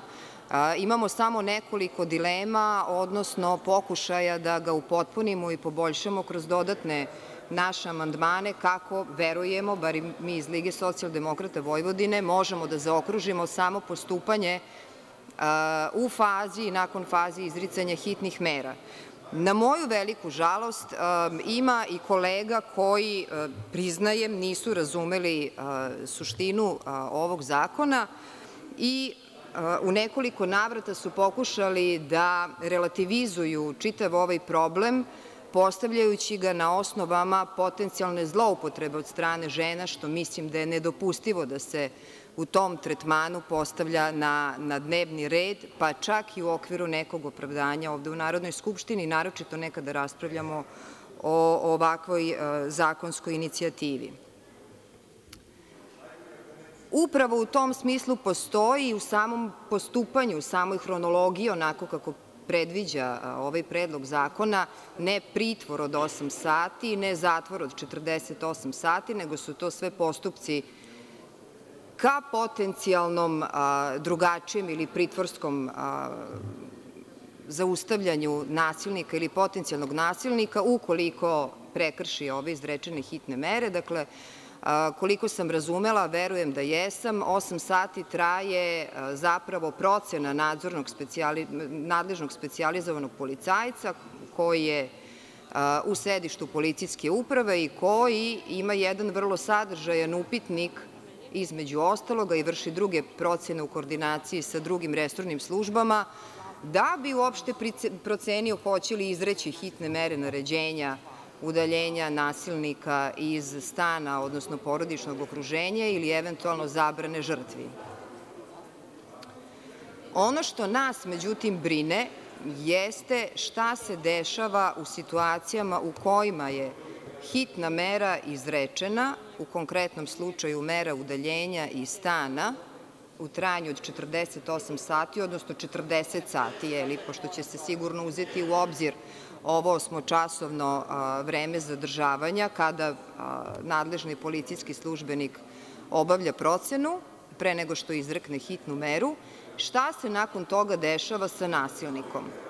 Mi nismo videli odgovor na ovo pitanje u ovom predlogu zakona i smatramo ga ključnim da bi ceo ovaj preventivni proces imao smisla. Već sam rekla da sam u komunikaciji sa ljudima na terenu koji će sutra biti zaduženi za sprovođenje ovih mera mogla primetiti njihovu zabrinutost upravo od trenutka izricanja mere udaljavanja iz stana, kada mi ne znamo gde će boraviti potencijalni nasilnik ili nasilnik, gde će ga oni naći ukoliko se on sam ne javi onako kako zakon predviđa nakon isteka mere od 48 sati, gde će znati da ga traže, ako je parcijalni model austrijskog zakona bio u nameri da se ovde primeni, nije se to postupanje zaokružilo tako da se, na primer, predviđa da se tačno zna gde će boraviti na nekoj drugoj adresi potencijalni nasilnik ili eventualno da mu se obezbedi, što ja znam da podrazumeva dodatne troškove, smeštaj tamo gde on može da bude na sigurnom u smislu praćenja šta on radi. Kao što sam već rekla, znači on apsolutno može besan i ljut zbog izricanja mere da ode u kafanu, da se napije, da uskoči kroz vrata ili prozor da ubije žrtvu. Među mera ovde nema. Ono što je za nas takođe diskutabilno jeste nepredviđanje obaveštavanja žrtve o izrečenim merama, tako da ona ne može ni da zna kada nasilnik pokuša da prekrši meru ili je prekrši kako bi i prijavila da je da on u prekršaju. Ono što takođe bih volela da čujem u odgovoru ministarke jeste kako je predviđena ova obuka, s obzirom da je zakon u planu da bude primenjen, odnosno da stupi na snagu za dosta meseci od današnjeg dana, od 1. juna naredne godine, što mi mislimo da je kasno, a ima naznaka da će se raditi o jednodnevnoj obuci. I volela bih da čujem da li je to tačno i radovalo bi me da to nije tačno, ali mi ne možemo da vidimo, s obzirom da zakon ne propisuje pravilnik, kako će izgledati ta obuka, ko će za nju biti zadužen. Mi smo mogli samo da zaključimo da je najbitnija stvar ovde sertifikacija ljudi koji će proći obuke, a ne kako će ta obuka izgledati.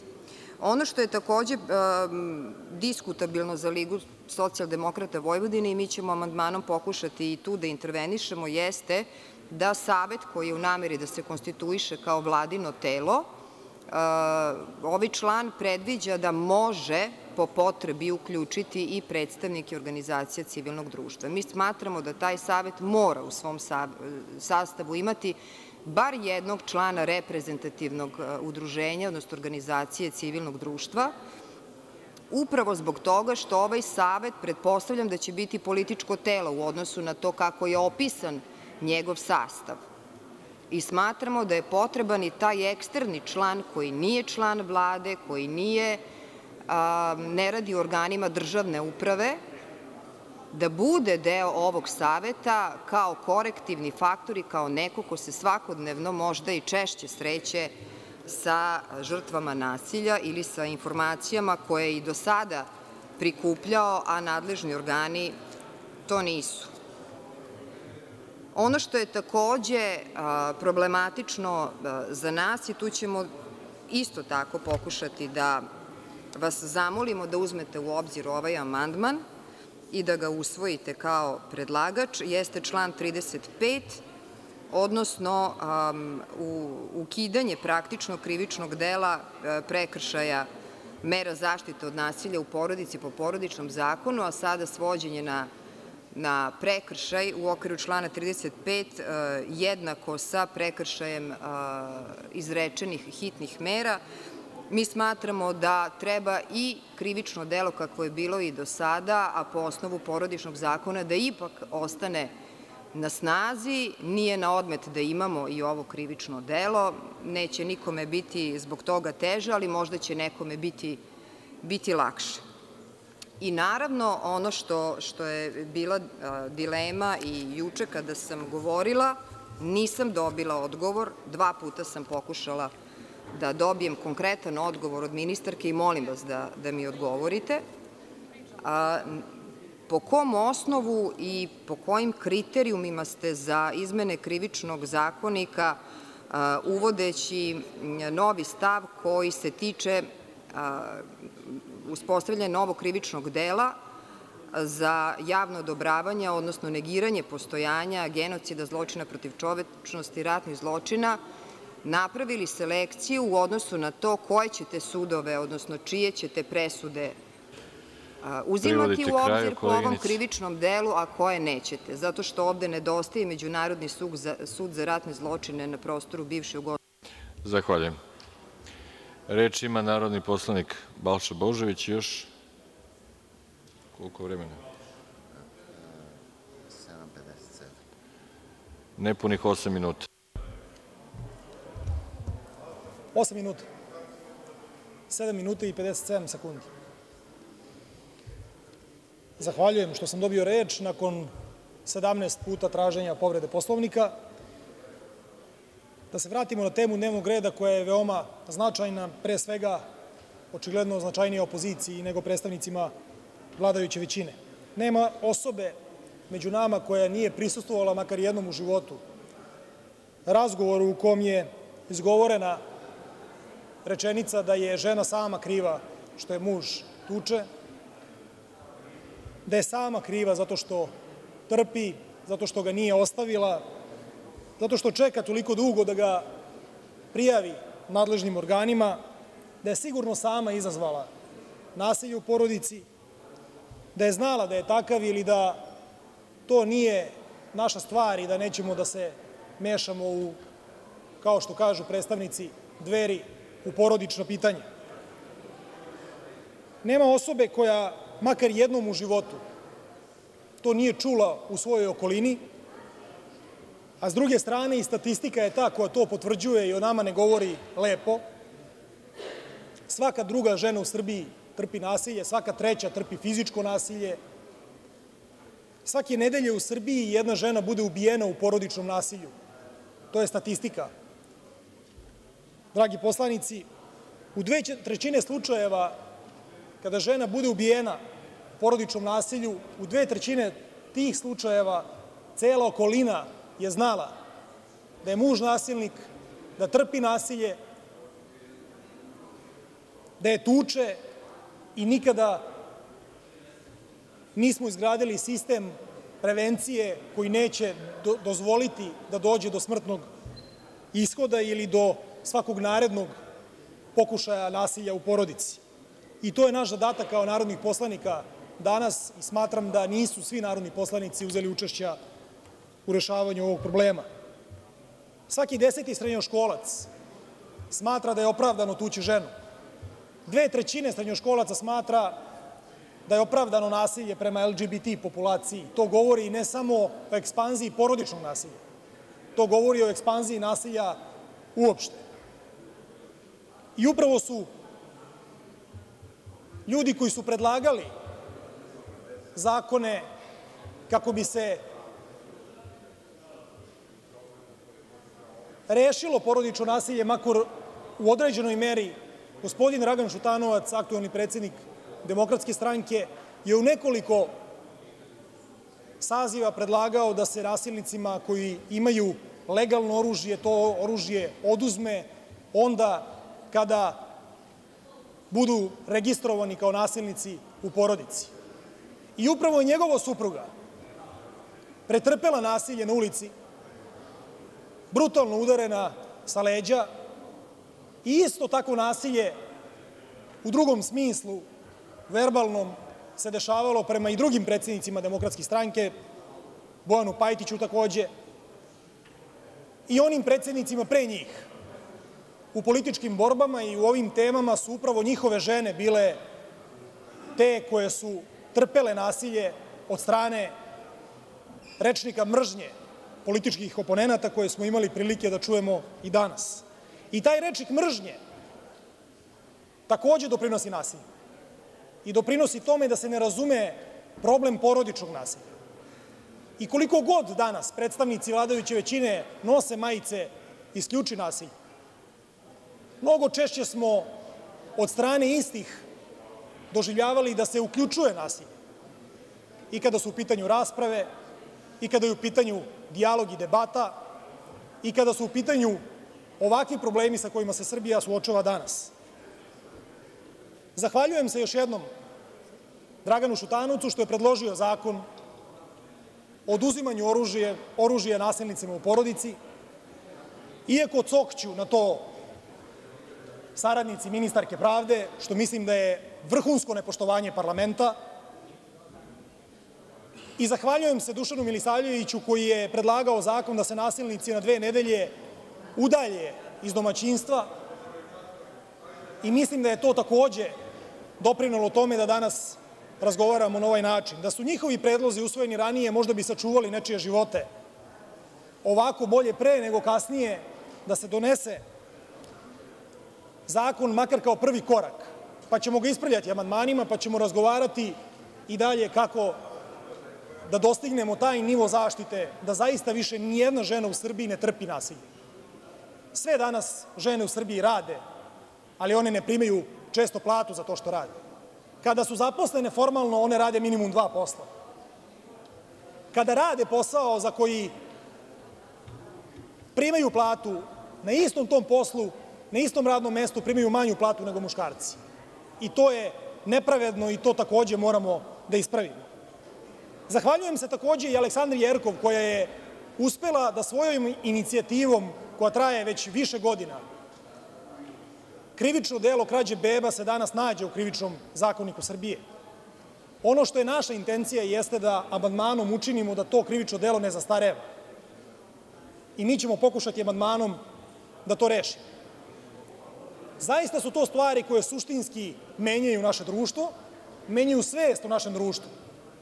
O potrebi da se o ovako važnim stvarima razgovara. I aktivnošću tih poslanika i svih ostalih i Ženske parlamentarne mreže i mnogih među nama danas ovde, došli smo do jednog prvog rešenja koje nije najsavršenije. I mi ćemo u raspravi o pojedinostima to i reći, ali mislim da ćemo naći način da rešimo one goruće probleme. Ono što se danas u Srbiji dešava nije najlepša slika o nama kao društvu. Iz tog razloga smatram da je veoma važno da ne okrećemo glavu kada je u pitanju porodično nasilje u našoj neposrednoj okolini, da građani budu ti koji će to prijavljivati čak i ako, kako kažu, ih se ne tiče jer nisu to njihova posla. Nasilje u porodici je nasilje u društvu, a to se tiče svakog građanina ove zemlje. I to je suštinska razlika između Demokratske stranke i Srpske napredne stranke, zato što Demokratska stranka želi da gradi društvo građana, a ne društvo robova. Jer danas žene u Srbiji u najvećoj većini slučajeva, kada je u pitanju porodično nasilje, su robinje, a ne građanke. One ne mogu da odu jer nemaju svoju imovinu, one ne mogu da odu jer ne mogu da dignu kredit, one nisu ekonomski nezavisne i iz tog razloga smatram da moramo da radimo na napređenju pre svega njihovog položaja u društvu. I završavam poslednjoj rečenici, drago mi je što smo imali prilike sa ministarkom danas da kvalitetno debatujemo i raspravljamo na ovu temu, krivo mi je za druge strane što smo bili svedoci nasilja vladajuće većine i danas kada se priča o porodičnom... Reč ima narodni poslanik Vladimir Đukanović. Hvala. Pa evo ovde smo se sada naslušali jedne neverovatne demagogije. I sad, pazite samo to pitanje, koliko bi, kaže, života bilo spašeno da, da je kojim slučajem usvoje neki zakon koji su oni predlagali Pa koliko bi života možda bilo spašeno da ste, recimo, ovakav zakon 2008. godine doneli? I, koliko, I koliko bi možda života bilo spašeno da niste, pošto sad se odjednom brinete za žene radnice, da niste onakve zakone o privatizaciji donosili, da ste čitave porodice izbacivali na ulicu iz fabrika naše. Samim tim, Ovo je najgora moguća demagogija koju slušam. Ovo je jedina Vlada koja je nešto konkretno uradila. Mi ovde smo malopre čuli od jednog poslanika, pa kaže, on, polazi od premise da je svako ovde u Srbiji izgleda spreman da nešto zloupotrebi. I onda ide sa pričom, pa neko će zloupotrebiti član zakona. Pa po toj logici ajmo onda da ne inkriminišemo ni krivično delo silovanja, jer će možda neka dama lažno da prijavi nekoga. Pa na što to liči? Koja je to logika? Da li mi ovde stalno polazimo od toga da smo mi svi u ovom društvu prevaranti, pa ćemo nekog lažno da prijavljujemo i onda po toj logici nemoj ništa da inkriminišemo? Pa to nema nikakvog smisla. Naravno, za lažno prijavljivanje i to je krivično delo. Istraga će utvrditi ako je neko lažno prijavio, odgovaraće. Prema tome, neshvatljivo je da neko može na ovakav način da razmišlja. Da, može, tačno. Malo je šire, priznajem, u samom članu, posebno oko proganjanja, malo šire je definisano i zaista može da dođe do zloupotreba. Ali, izvinite, bolje sprečiti nego lečiti. Pa i ako ima lažnog prijavljivanja, taj će odgovarati. Ali nemojmo polaziti od toga da su svi u ovom društvu takvi skloni lažnom prijavljivanju i da nekog nameste. To više možda govori autoprojekciji oni koji, koji to rade, odnosno koji to prigovaraju. Ja ne želim da verujem da je ovo društvo nasilno društvo. A neko uporno pokušava da nam naglasi kako smo mi svi ovde nasilni. Ja to ne želim da prihvatim. Srpski narod i svi mi nismo nasilni. A ima primitivaca u svakom društvu, pa ima i kod nas. E, znate, to je ono kad se odvaja žito od kukolja. Te što su kukolje ovakvim članovima zakona želimo, želimo da na neki način eliminišemo, odstranimo iz našeg društva, da idu na zasluženu kaznu i da robijaju. Samim tim, uvaženi predsedavajući, pošto mi je još ostalo malo vremena, ja moram da se zahvalim svima zato što smo imali prilično konstruktivnu diskusiju, osim pojedinih poslanika, očigledno nervoznih zato što se donose neka krivična dela vezana za stečaj. Ali to je već njihov problem. Imam, želim da izrazim zadovoljstvo zato što smo konačno otvoreno počeli da pričamo o ovome i zato što ovo nije demagogija. Ja ne mogu da podnesem kada neko demagoški prilazi ovoj temi i to samo da bi zaradio političke poene. To je jedan jedini razlog zašto su neki ljudi to radili. Milione smo potrošili u raznim besmislenim kampanjama protiv nasilja u porodici, a nikada veće nasilje nije bilo. Kakav je efekat toga? Nikakav. I ja sad molim državu da konačno uzme stvar u svoje ruke i da svakog nasilnika kazni. I da svakog ko tuče ženu, tuče decu, da kazni. Pritom, naravno, nisam pristalica ni one demagogije što se tiče dece. E, ne sme roditelj ni popreko da pogleda dete, jer to nije ni dobro. Ali, svakako, pošto ima raznih, iskreno ima raznih ludaka u našem društvu koji premlaćuju decu, svakako da ih treba, treba sankcionisati. Isto bih zamolio uvažene članove iz Ministarstva pravde, odnosno ministarku, a i gospodina državnog sekretara da razmislite i kako da se reguliše nasilje porodici i prema muškarcima. Mi imamo ozbiljan problem i to se svaki, ima dosta tužilaca koji se s tim suočavaju, gde muškarci bezmalo krišom dolaze, pa onda mole da se ipak povuče prijava protiv žene, zato što ih je sramota da, da prijave nasilje koje postoji. Jer ovde je uvreženo pravilo da su, je tako, da ste neko, da ste kukavica ako prijavljujete ženu da vas žena maltretira. A to postoji. To postoji, nažalost. I mi moramo i s tim da se suočimo. Jer, naravno, nasilje nije samo fizičko, nego i psihičko. I moramo to takođe da sprečimo. Još jednom izraziću veliko, veliko zadovoljstvo, malo ko ovde pominjao zakon o organizovanom kriminalu. E tu tek molim državu da uzme stvar u svoje ruke. Ljudi koji su sistematski pljačkali ovo društvo, sada imaju nova krivična dela i mogu da rade, imaju veće nadležnosti i veće ingerencije i mogu konačno da spreče sve one koji su umislili da je država njihova prćija i da mogu da pljačkaju ovaj sistem kako im padne na pamet. I ja bih vas zamolio da još, dovoljno, da još dosta poradite na reformi krivičnog zakonodavstva, zato što neka krivična dela jesu zastarela, neka moraju da se prilagode nekim savremenim tokovima, tehnologija napreduje. Ja vas molim da što pre dođete sa novim izmenama i dopunama, pre svega dopunama, pošto izmene mogu da budu možda eventualno u, kaznenoj politici, ali pre svega dopunama nekih novih krivičnih dela koje u svetu postoje. Zato radujem se što, što konačno imamo ljude koji nešto konkretno rade u ovoj državi i što će neko konkretno krenuti da sprečava i korupciju i, organizovani kriminal, a svakako pre svega ovo nasilje u porodici koje je zahvatilo ovo društvo na najgori mogući način. Verujem da ćemo tu postići daleko, daleko bolje rezultate nego što smo imali do sada kroz razne demagoške kampanje. Hvala vam. Reč ima narodni poslanik Tatjana Macura. Dame i gospodo narodne poslanice i narodni poslanici, predstavnici ministarstva, poštovana ministarko, predsedavajući, danas smo prisustvovali onome ovaj, čemu se verovatno nismo mogli ni u najluđim snovima nadati, a sve je posledica toga što smo objedinili rasprave o nečemu što nije smelo ni po kom osnovu da bude objedinjeno danas u raspravi.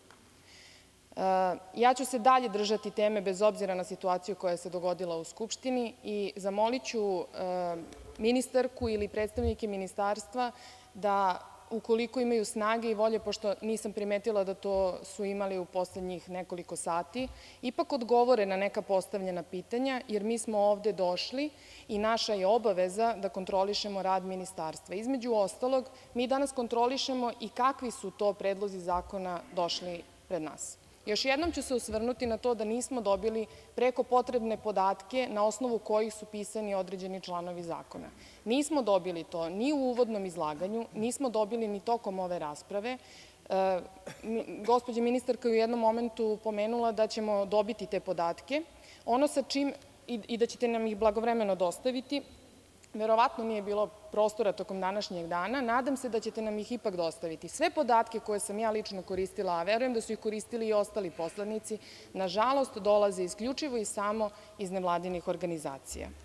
E, da ne bude da, da je zaista ono što nisam stigla u uvodnom izlaganju da kažem, e, a mislim da je važno, pozdravljam i odluku da se u predlog zakona e, napravi jedna takva izmena kojom će se čin silovanja odnosno obljube nemoćnog lica biti izjednačena sa činom silovanja i mislimo da je to jako važno i da je dobro što je to ovim zakonom urađeno.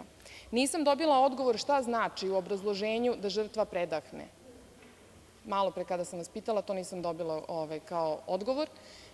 Najčešći uzročnici porodičnog nasilja, onoliko koliko ja imam podatke, su situacije iz bračnih nekih atmosfera u kojima su supružnici pod dejstvom alkohola ili psihoaktivnih substanci. Pa da li taj predah u stvari znači da oni mogu da se vrate ili da ponove svoj zločin, da tako kažem, kada dejstvo alkohola ili psihoaktivnih substanci u stvari prestane. Ja sam to tako doživela, ne znam šta to u stvari znači, pa bih volela da mi to ipak pojasnite. Zanima me i zašto centri za socijalni rad nemaju preko potrebnu obuku? Zašto su oni izostavljeni? Ako svi drugi državni organi imaju, zašto centri za socijalni rad, na primer, nemaju? Što se tiče brisanja podataka, pošto ste i to pomenuli, rekli ste da ste na osnovu primetbe poverenika odlučili da se ovi podaci brišu. Moja konstatacija na, primetbu poverenika Moja konstatacija vezano za e, brisanje podataka je bila upravo na informaciju koju sam dobila na Odboru za ljudska i manjinska prava, gde je bio državni sekretar koji je upravo otišao i koji je dao tu informaciju da mi ne možemo da brišemo podatke, odnosno da, da smo dogovorili se da brišemo podatke, samo zbog toga što je preko, ako ne bude došlo do toga, do brisanja podataka, onda ćemo morati da menjamo niz nekih drugih zakona i da je to sad u ovom trenutku komplikovano. Zato je moja reakcija bila da naša uloga ovde u Narodnoj skupštini jeste da menjamo postojeće zakone da bi oni bili bolji. Slobodno pogledajte snimak sa e, sednice pa ćete videti kakav sam odgovor dobila tamo. E, još jednom ću se osvrnuti na finansijska sredstva koja su potrebna za e, izradu jednog, odnosno stupanje na snagu jednog i drugog zakona. Potpuno mi je neshvatljivo da jedan ovako važan zakon kakav je sprečavanje nasilja u porodici nema nikakvu potrebu za dodatnim uloženim finansijskim sredstvima. Mogu li još jednu rečenicu?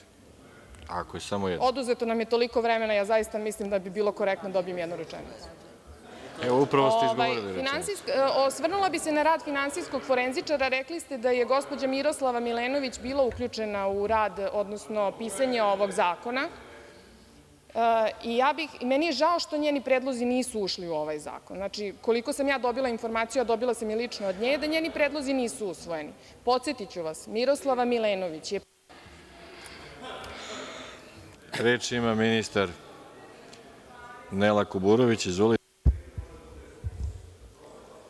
Uvaženi predsedavajući, dame i gospodo narodni poslanici, pažljivo sam slušala današnju raspravu i pre svega moram da se zahvalim poslanicima kako vladajuće koalicije, tako i iz opozicije koji su vrlo konstruktivno učestvovali i ono što mogu da kažem da imajući u vidu i amandmane koje sam imala prilike da vidim, da ćemo svakako nastojati da predloge zakona o kojima smo danas raspravljali poboljšamo kroz određene amandmane.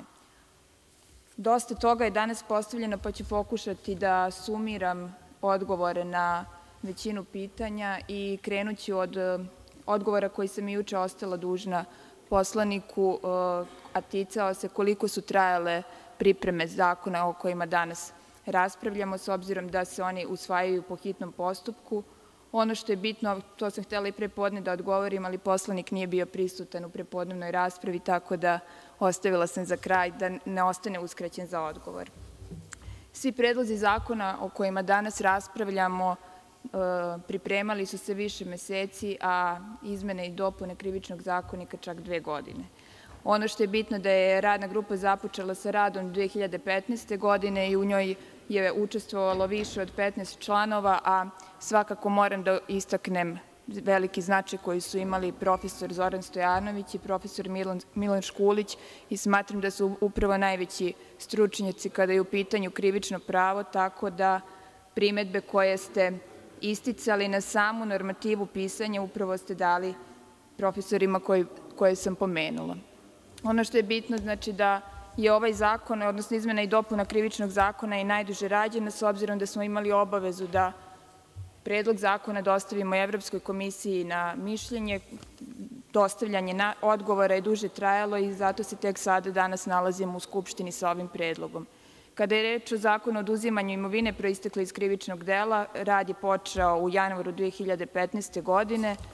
Zakon o organizaciji nadležnosti državnih organa u suzbijanju organizovanog kriminala, terorizma i korupcije u junu 2015. godine i Zakon o sprečavanju nasilja u porodici, rad radne grupe je započeo u januaru 2016. godine.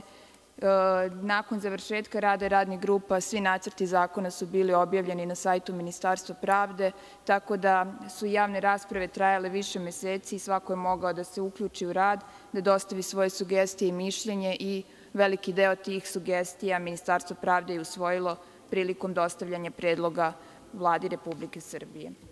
Smatram da danas imamo izuzetno važne zakone o kojima raspravljamo i pre svega jedan zakon koji uvodi potpuno novinu u naš pravni sistem i reguliše oblast koja do sada nije bila regulisana, iako ste 2011. godine doneli bili strategiju, odnosno nacionalnu strategiju za sprečavanje i suzbijanje nasilja nad ženama i nasilja u porodici, gde je strateški cilj u tački 6 upravo govorio o obavezi donošenja zakona koji će da reguliše ovu oblast. To nije učinjeno i tek je ova Vlada uspela da izađe sa predlogom kako bi regulisala ovu oblast. Smatram da, s obzirom da je zakon potpuno nov, svakako da verovatno nije savršen, ali smatram da mu treba dati šansu da počne primenu i da ćemo svakako, ukoliko se pokažu nedostaci, intervenisati blagovremeno kako bi u potpunosti implementacija imala efekte koje od njega očekujemo. Ono što je bitno da ovaj zakon, a sam naziv to govori, ima pre svega preventivnu funkciju i zato mi je žao što su neki poslanici maliciozno pokušali da na neki način i obmanu građane govoreći o pritvoru, oduzimanju imovine, s obzirom da nigde Zakon o sprečavanju nasilja u porodici ne govori o pritvaranju lica, niti oduzimanju imovine, već je novina uvođenje hitnih mera, to je udaljenje nasilnika iz stana i zabrana prilaska žrtvi, što svakako ne može da se izjednači sa pritvorom i upravo suština ovog zakona je da na neki način reaguje pre pokretanja krivičnog postupka ili parničnog postupka po tužbi za nasilje u porodici, kako bi se pružila pre svega podrška žrtvi i ohrabrila da nastavi dalje postupak kako se ne bi povukla. I to je ono što ste možda pitali, što znači da predahne žrtva, upravo da bi dobila dovoljno vremena da se osamostali i da na neki način se i ohrabri da uđe u dalji postupak, bilo da je u pitanju krivični postupak ili postupak po tužbi u parničnom postupku za nasilje u porodici. Da li imamo ministra za porodičnu zaštitu ili ne, morate pročitati Zakon o ministarstvima pa ćete videti da je ministar za rad i socijalna pitanja nadležan za ovu oblast i ministar nadležan za porodičnu zaštitu pominje se i u Porodičnom zakonu, pa isto tako odredba se pominje i u Zakonu o sprečavanju nasilja u porodici, tako da Ministarstvo pravde nema nameru da se uvodi novo ministarstvo, s obzirom da imamo ministra koji je nadležan za ovo pitanje. Druga stvar gde ste verovatno isto pokušali na maliciozan način da prikažete da imamo neustavne odredbe koje se tiču evidencije, ja moram da istaknem da nije reč o evidencijama da li je neko nasilnik ili ne. To su evidencije o postupcima postupanja pre svega policije, a zatim i javnih tužilaštava i osnovnih sudova, odnosno to je evidencija odluka koju oni donose.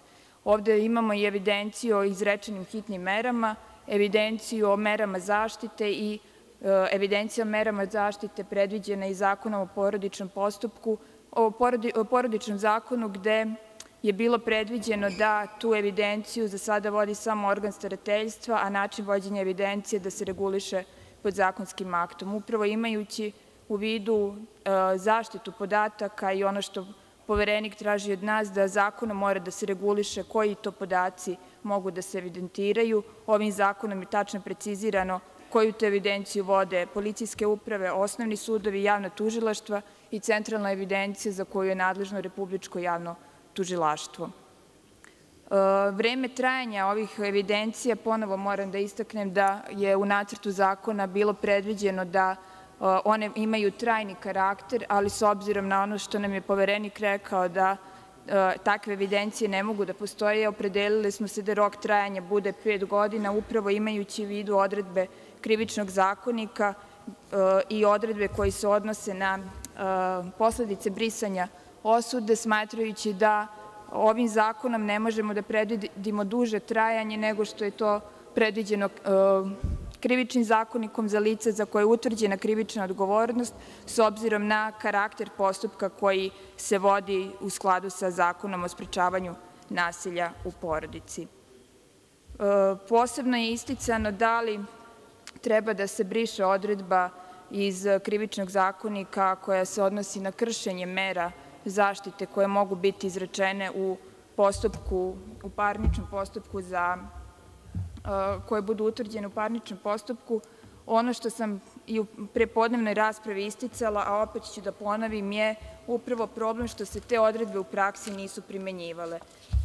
U principu imamo mrtvo slovo na papiru koje nije zaživelo u praksi, jer politika sudova kada je u pitanju nasilje u porodici mogu reći da je i suviše blaga i za osnovni oblik krivičnog dela i za kvalifikovanije oblike i Ponovo ću da istaknem da je bilo ukupno izrečenih u 2015. godini 1859 osuđujućih presuda, od kojih je 660 kazni zatvora, znači samo 35%, a uslovnih osuda je bilo 1186, odnosno 63,80%.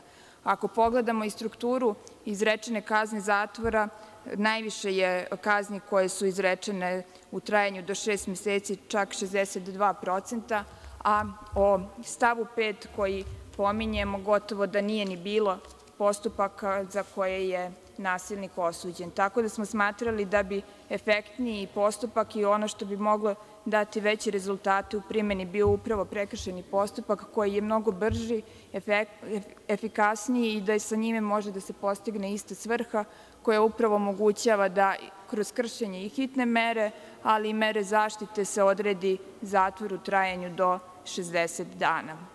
Ali u svakom slučaju kroz raspravu o, u pojedinostima možemo ponovo da razmatramo primetbu koju, ste izneli na ovaj zakon. Posebno se pojavilo i pitanje odgovornosti svih učesnika koji učestvuju u sprečavanju nasilja u porodici. Ono što moram da istaknem da je pre svega predviđena prekršajna odgovornost za neprijavljivanje nasilja, a kada je reč o prekršajnoj odgovornosti nosilaca pravosudne funkcije, smatram da je nedopustivo da takvu odredbu unesemo u zakon, s obzirom da moramo poštovati načelo samostalnosti javnih tužilaca i nezavisnost sudija i da upravo nepostupanje u određenim rokovima ne može biti prekršajna odgovornost, može samo da se podvede pod disciplinsku odgovornost sudija i javnih tužilaca i da nadležni disciplinski organi Visokog saveta sudstva i Državnog veća tužilaca reaguju ukoliko je bilo kršenja i neblagovremenog postupanja jednih i drugih. Što se tiče drugog zakona, odnosno izmena i dopuna Krivičnog zakonika, nekako najviše primetbi je bilo na ostanak krivičnog dela koje se tiče zloupotrebe položaja odgovornog lica i opet moram da skrenem pažnju da smo mi svesni problema koji, koji izaziva postojanje ovakve odredbe, ali Vlada Republike Srbije pokušava da otkloni posledice onoga što je uneto u Krivični zakonik 2009. godine kroz član 359, gde je kroz zloupotrebu službenog položaja, odnosno službeno lice, odgovorno lice u potpunosti bilo izjednačeno sa službenim licem i to je dovelo do inflacije krivičnih postupaka koji jednostavno nisu mogli da budu da, da, da nismo mogli da dozvolimo da dođe do diskriminacije i obustave tolikog broja postupaka koji su pokrenuti. Zbog toga je bila izmena zakona 2012. godine. Sada pokušavamo ponovo kroz izmenu ovoga člana koji se tiče zloupotrebe položaja odgovornog lica da pre svega uvedemo ovo krivično delo kao subsidijarno i kroz nova krivična dela u privredi da regulišemo problem koji, koji se javlja u praksi.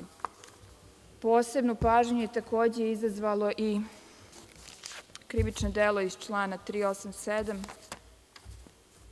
koji se tiče um,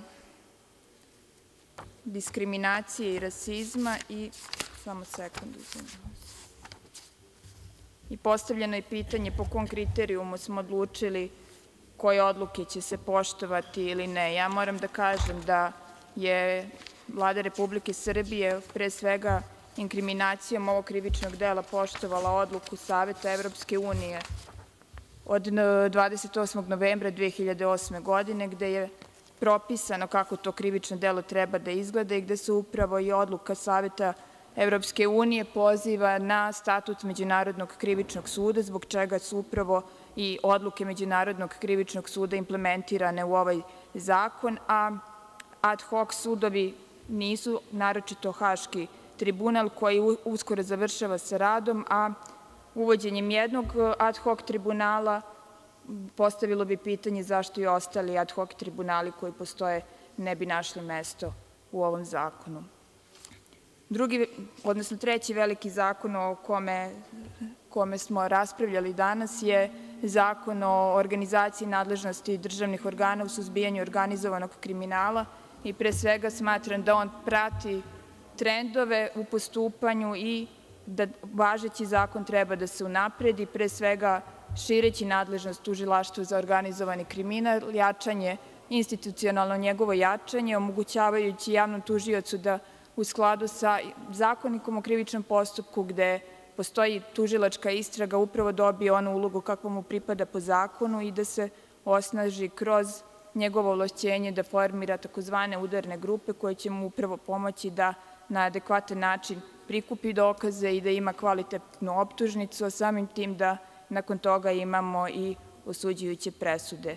Pored toga, ono što je bitno da se uvode i nova posebna odeljenja u višim javnim tužilaštvima u Beogradu, Kraljevu, Novom Sadu i Nišu, koja će biti upravo nadležna za krivična dela sa koruptivnim elementom, i s obzirom da treba duži period vremenski da bi se pripremili, odnosno da bi se formirala posebna odeljenja, imajući u vidu i infrastrukturne probleme koje imamo i koje se nadamo da ćemo uspešno rešiti u toku sledeće godine. Zato je jedan od razloga zbog čega ovaj zakon će tek da se primenjuje 2018. godine. Imajući u vidu da se krivična dela u privredi za koje će biti nadležna viša tužilaštva sa posebnim odeljenjima upravo odnose na ovo. To je razlog zašto je i krivični zakonik u ovom delu, odnosno primjena krivičnog zakonika u ovom delu upravo odložena do 2018. godine. Kada je u pitanju odlaganje u ostalom delu krivičnog zakonika koji počinje da se primenjuje od 1. juna 2016. godine, pre svega se odnosi na krivična dela koja su, nova krivična dela koja su inkriminisana u skladu sa Istanbulskom konvencijom, međusobno je povezana sa Zakonom o sprečavanju nasilja u porodici i on je odložen do juna 2016. godine, s obzirom da tek nakon usvajanja ovog zakona, što se nadam da ćemo imati u narednih par dana, se stvara pravni osnov da Pravosudna akademija utvrdi program obuke koji će posle sprovesti i na osnovu koga će se obučiti policijski službenici, javni tužioci i sudije.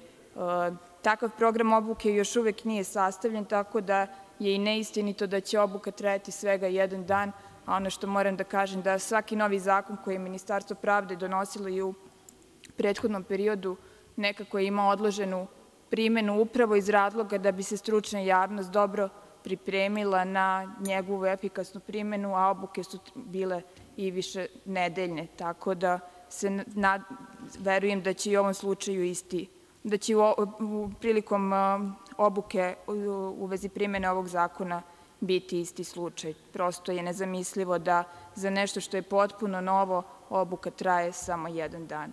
I nije samo razlog obuke, s obzirom da i Ministarstvo pravde i Ministarstvo unutrašnjih poslova i Ministarstvo za rad imaju svoje obaveze da donesu odgovarajuće podzakonske akte koji će upravo da omoguće implementaciju ovog zakona na pravi način, imaju obavezu da u narednih tri meseca donesu akte, a treba da se pripremimo i programski i da osposobimo i Republičko javno tužilaštvo da vodi centralnu evidenciju o kojoj smo pričali, tako da su to sve razlozi zašto je potrebno odložiti primenu zakona i imati dobru pripremu da bi 1. juna mogli svi organi efikasno da postupaju i svi organi kojima se ovim zakonom pre svega povećava odgovornost, jer do sada smo na neki način imali isključenu odgovornost, uvek se odgovornost prebacivala sa jednog na drugi organ, upravo kroz uvođenje grupa za koordinaciju i saradnju i zapisnika na koji smo insistirali u samom zakonu da postoje, upravo se može videti ko je postupio, odnosno da li nije postupio u skladu sa onim što je dogovoreno, da li je postupio blagovremeno ili ne, tako da nema razloga da se poziva posle na neodgovornost, odnosno da nije znao šta treba da uradi. Ja vam se još jednom zahvaljujem i nadam se da ćemo u narednim danima imati prilike da o svakom pojedinačnom amandmanu raspravimo i još jednom ukazujem da će svakako biti mesta za poboljšanje i napređenje predloga zakona koji se nalaze pred vama, s obzirom da ima amandmana koji su i tekako kvalitetni i moram priznati čak precizniji u pojedinim delovima u odnosu na ono što je predloženo od strane Ministarstva pravde.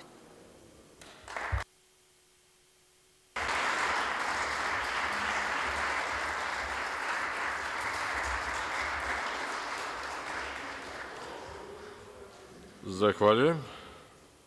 Zaključujem zajednički načelni pretres. Sa ovim završavamo sa današnjim radom i sutradan nastavljamo sednicu sa početkom u 10 sati.